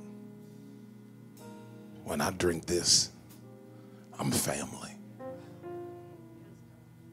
Blood for blood. That he amalgamated us, brought us in, unified us into his body. That even though I embrace the idea of being family, it goes so much deeper. Because there's family and then there's distant family. He said it's not enough for you to be a cousin or an in law or like brother.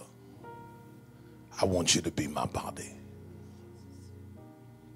When we drink this, we're reminded that we are one body, one Lord, one faith, one baptism, uniting with Christians all over the world, unifying with the faith in Jesus Christ in those all over the world, that no matter where we are, no matter how far apart we are, we are one. Let's do this in remembrance of Jesus.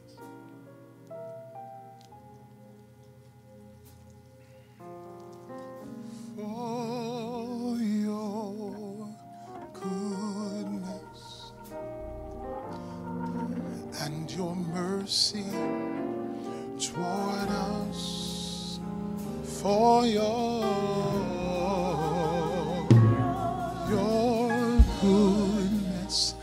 wrap your arms around somebody near you, hug them, squeeze them, and let them know that we're one? Tell them whatever your fight is, it's my fight. Whatever your struggle is, it's my struggle. Whatever you're going through, I'm going through. You are not by yourself. For your goodness, yeah. Hallelujah. Your victory is my victory. Your failure is my failure. For your wave your hands and say for us. For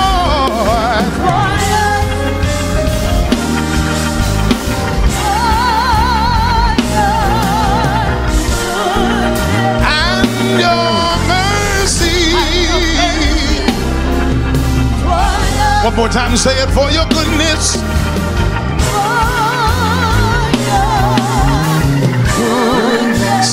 And your mercy. Come on. So let's make it big. We, we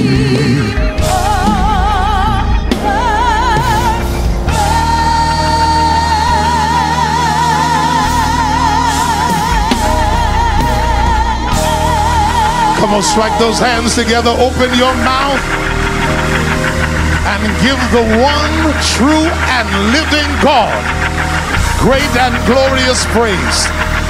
Aren't you glad you've been blessed this year? While your hands are clapping, would you help me thank God for these prognosticators of Calvary's cross?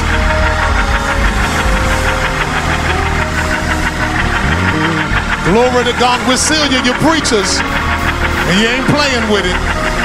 Thank God for Jesus. What a blessing it is to know that we're in a house of people who can handle the holy well. Be seated in God's presence. Uh, an amazing weekend is ahead of us. This is being uh, this being a part of it. Good Friday, of course, is tomorrow, and I want to say this to you just in case uh, you stumble across some readings or anything like that.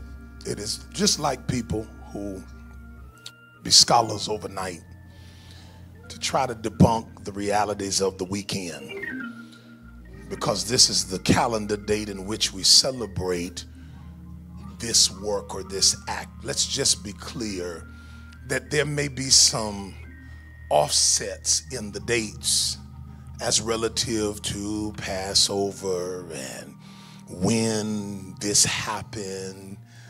But the thing is that we cannot get confused on, and I told y'all this about Christmas. It happened. And that's the point. We're not getting ready to argue with people who just want to have, amen, book banter.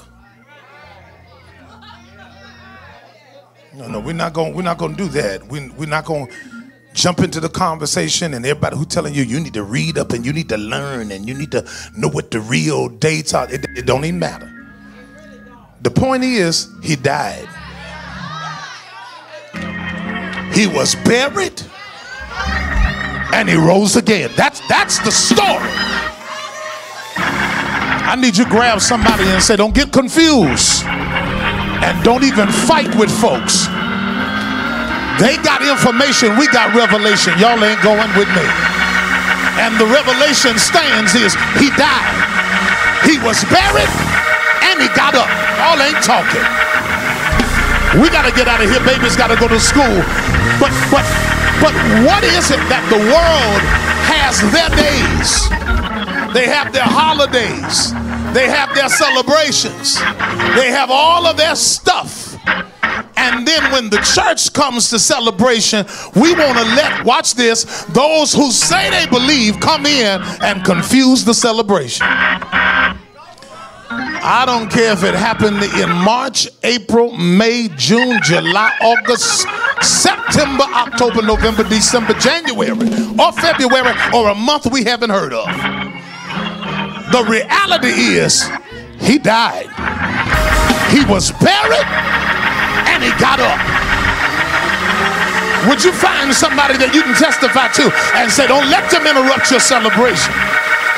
Come on, believer, put your phone down and pay attention to God. Amen. Tell your neighbor, say, Neighbor, he got up, and that's enough for me to praise him by myself. I'm going to say this to you because I'm your pastor for some of y'all. But we got to get back to the seriousness of the gospel. Listen to me. Listen to me, church. Y'all paying attention? Nudge your neighbor. If they ain't paying attention, they pay attention. Right? Right? You got to get back to the seriousness of the gospel.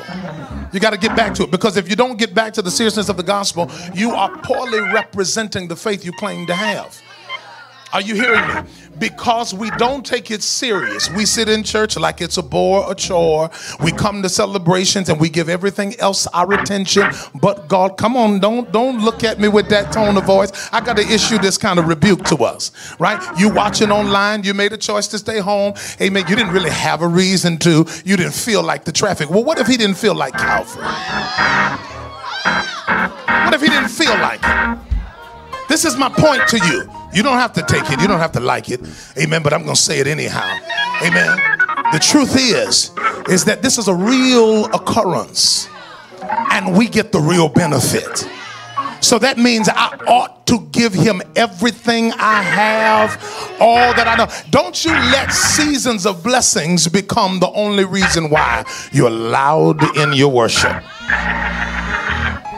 but maintain the revelation that no matter when, no matter how, the fact is that it happened.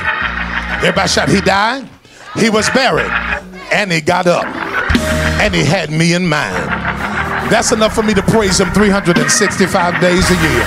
That's enough for me to give Him glory no matter what's going wrong in my life. That's enough for me to bless Him with everything I have. Listen to me, those of you that are preachers, all y'all, amen, that are preachers, amen. Don't embarrass your faith and your proclamation by not engaging God in moments where things are challenging and tough. Don't embarrass your proclamation by deciding you're going to let seasons dictate how you respond to God in worship.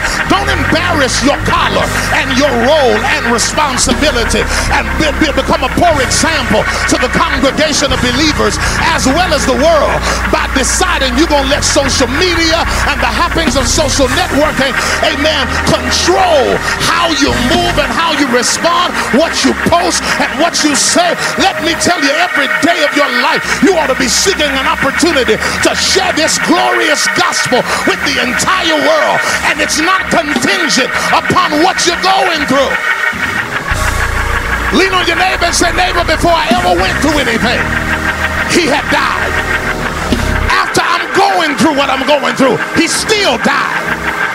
And when I come out of it, glory to God, by his outstretched hand, it's going to be because he died. I need you to jump, scream, wave, holler, turn, twirl, and give him glory because you know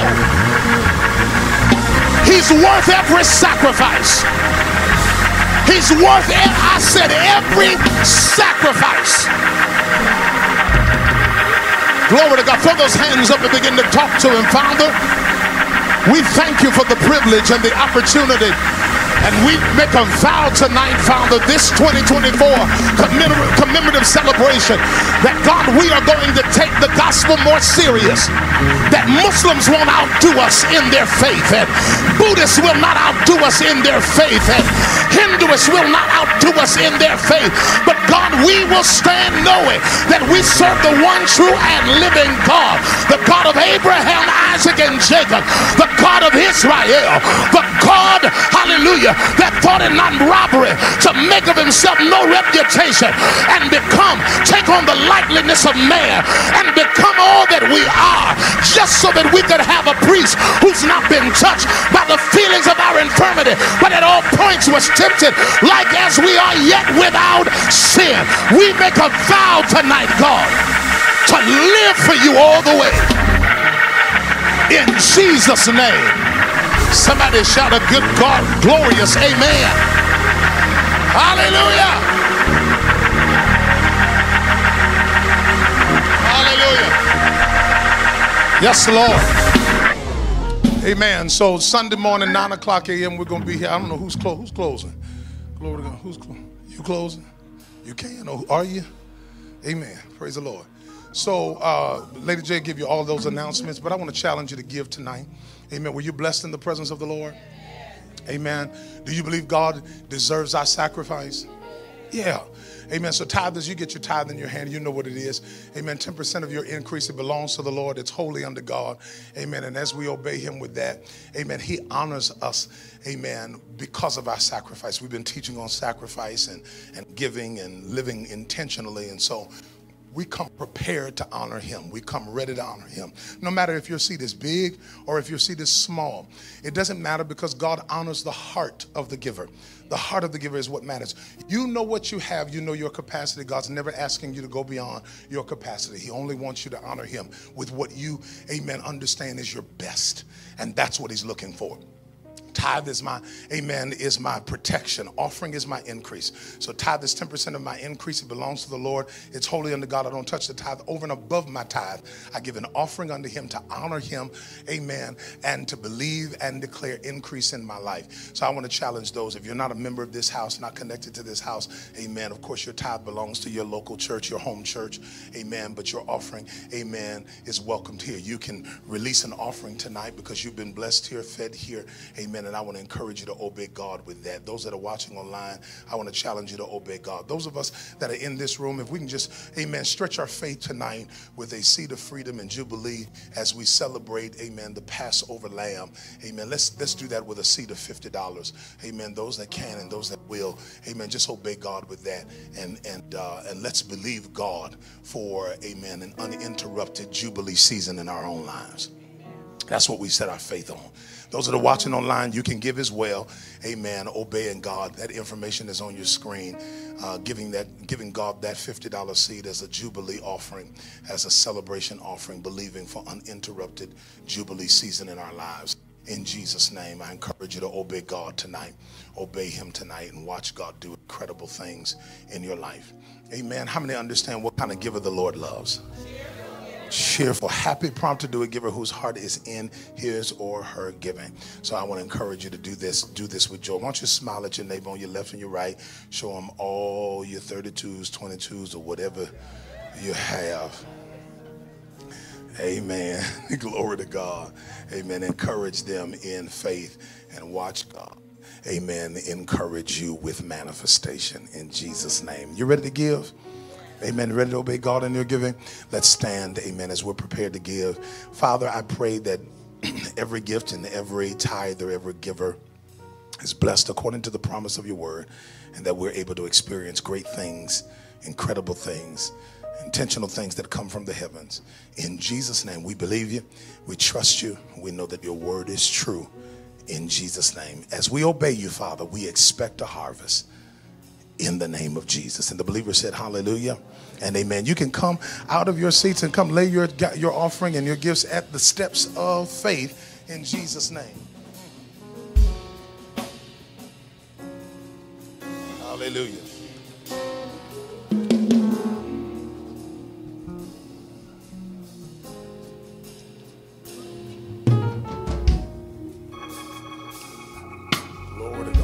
Give us some good marching music. It's very somber.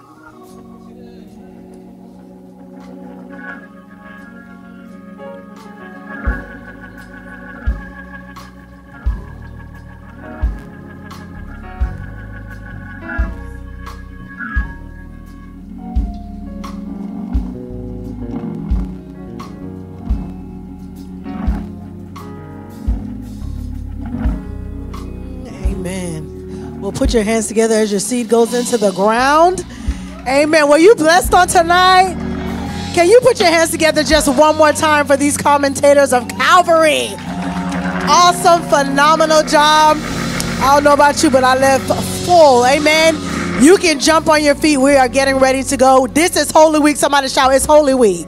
So this Sunday, make sure you are in the house of the Lord. If you can be here, be here. Yes, it's hybrid, but we want you to be in the house this Sunday Resurrection Sunday, 9 a.m. sharp, and we're out of here at 11 o'clock. So you got to be on time, amen. And of course, it is big giving, so we are coming prepared with our prepared seed for big giving. And then that that night, 6:45 is Heaven's Pour Worship Night. So prepare to be a part of that. More than enough time for you to go home, take a nap, do whatever, and come back out, and we're gonna worship God and celebrate the fact that He got up. Amen. Hug your neighbor on your way out. You know what we say stay in faith, stay focused, but most of all, stay connected. All right, I'm old school, so shake your hand to the preacher, right? Oh, okay. The preacher's gonna come down here. Y'all come on down. Come on, preachers. Yeah, come on, come on. They're gonna stand right up here. Y'all give them, give them a good handshake, amen. Be a blessing to them. Let them know they did a good job. Encourage them in the faith.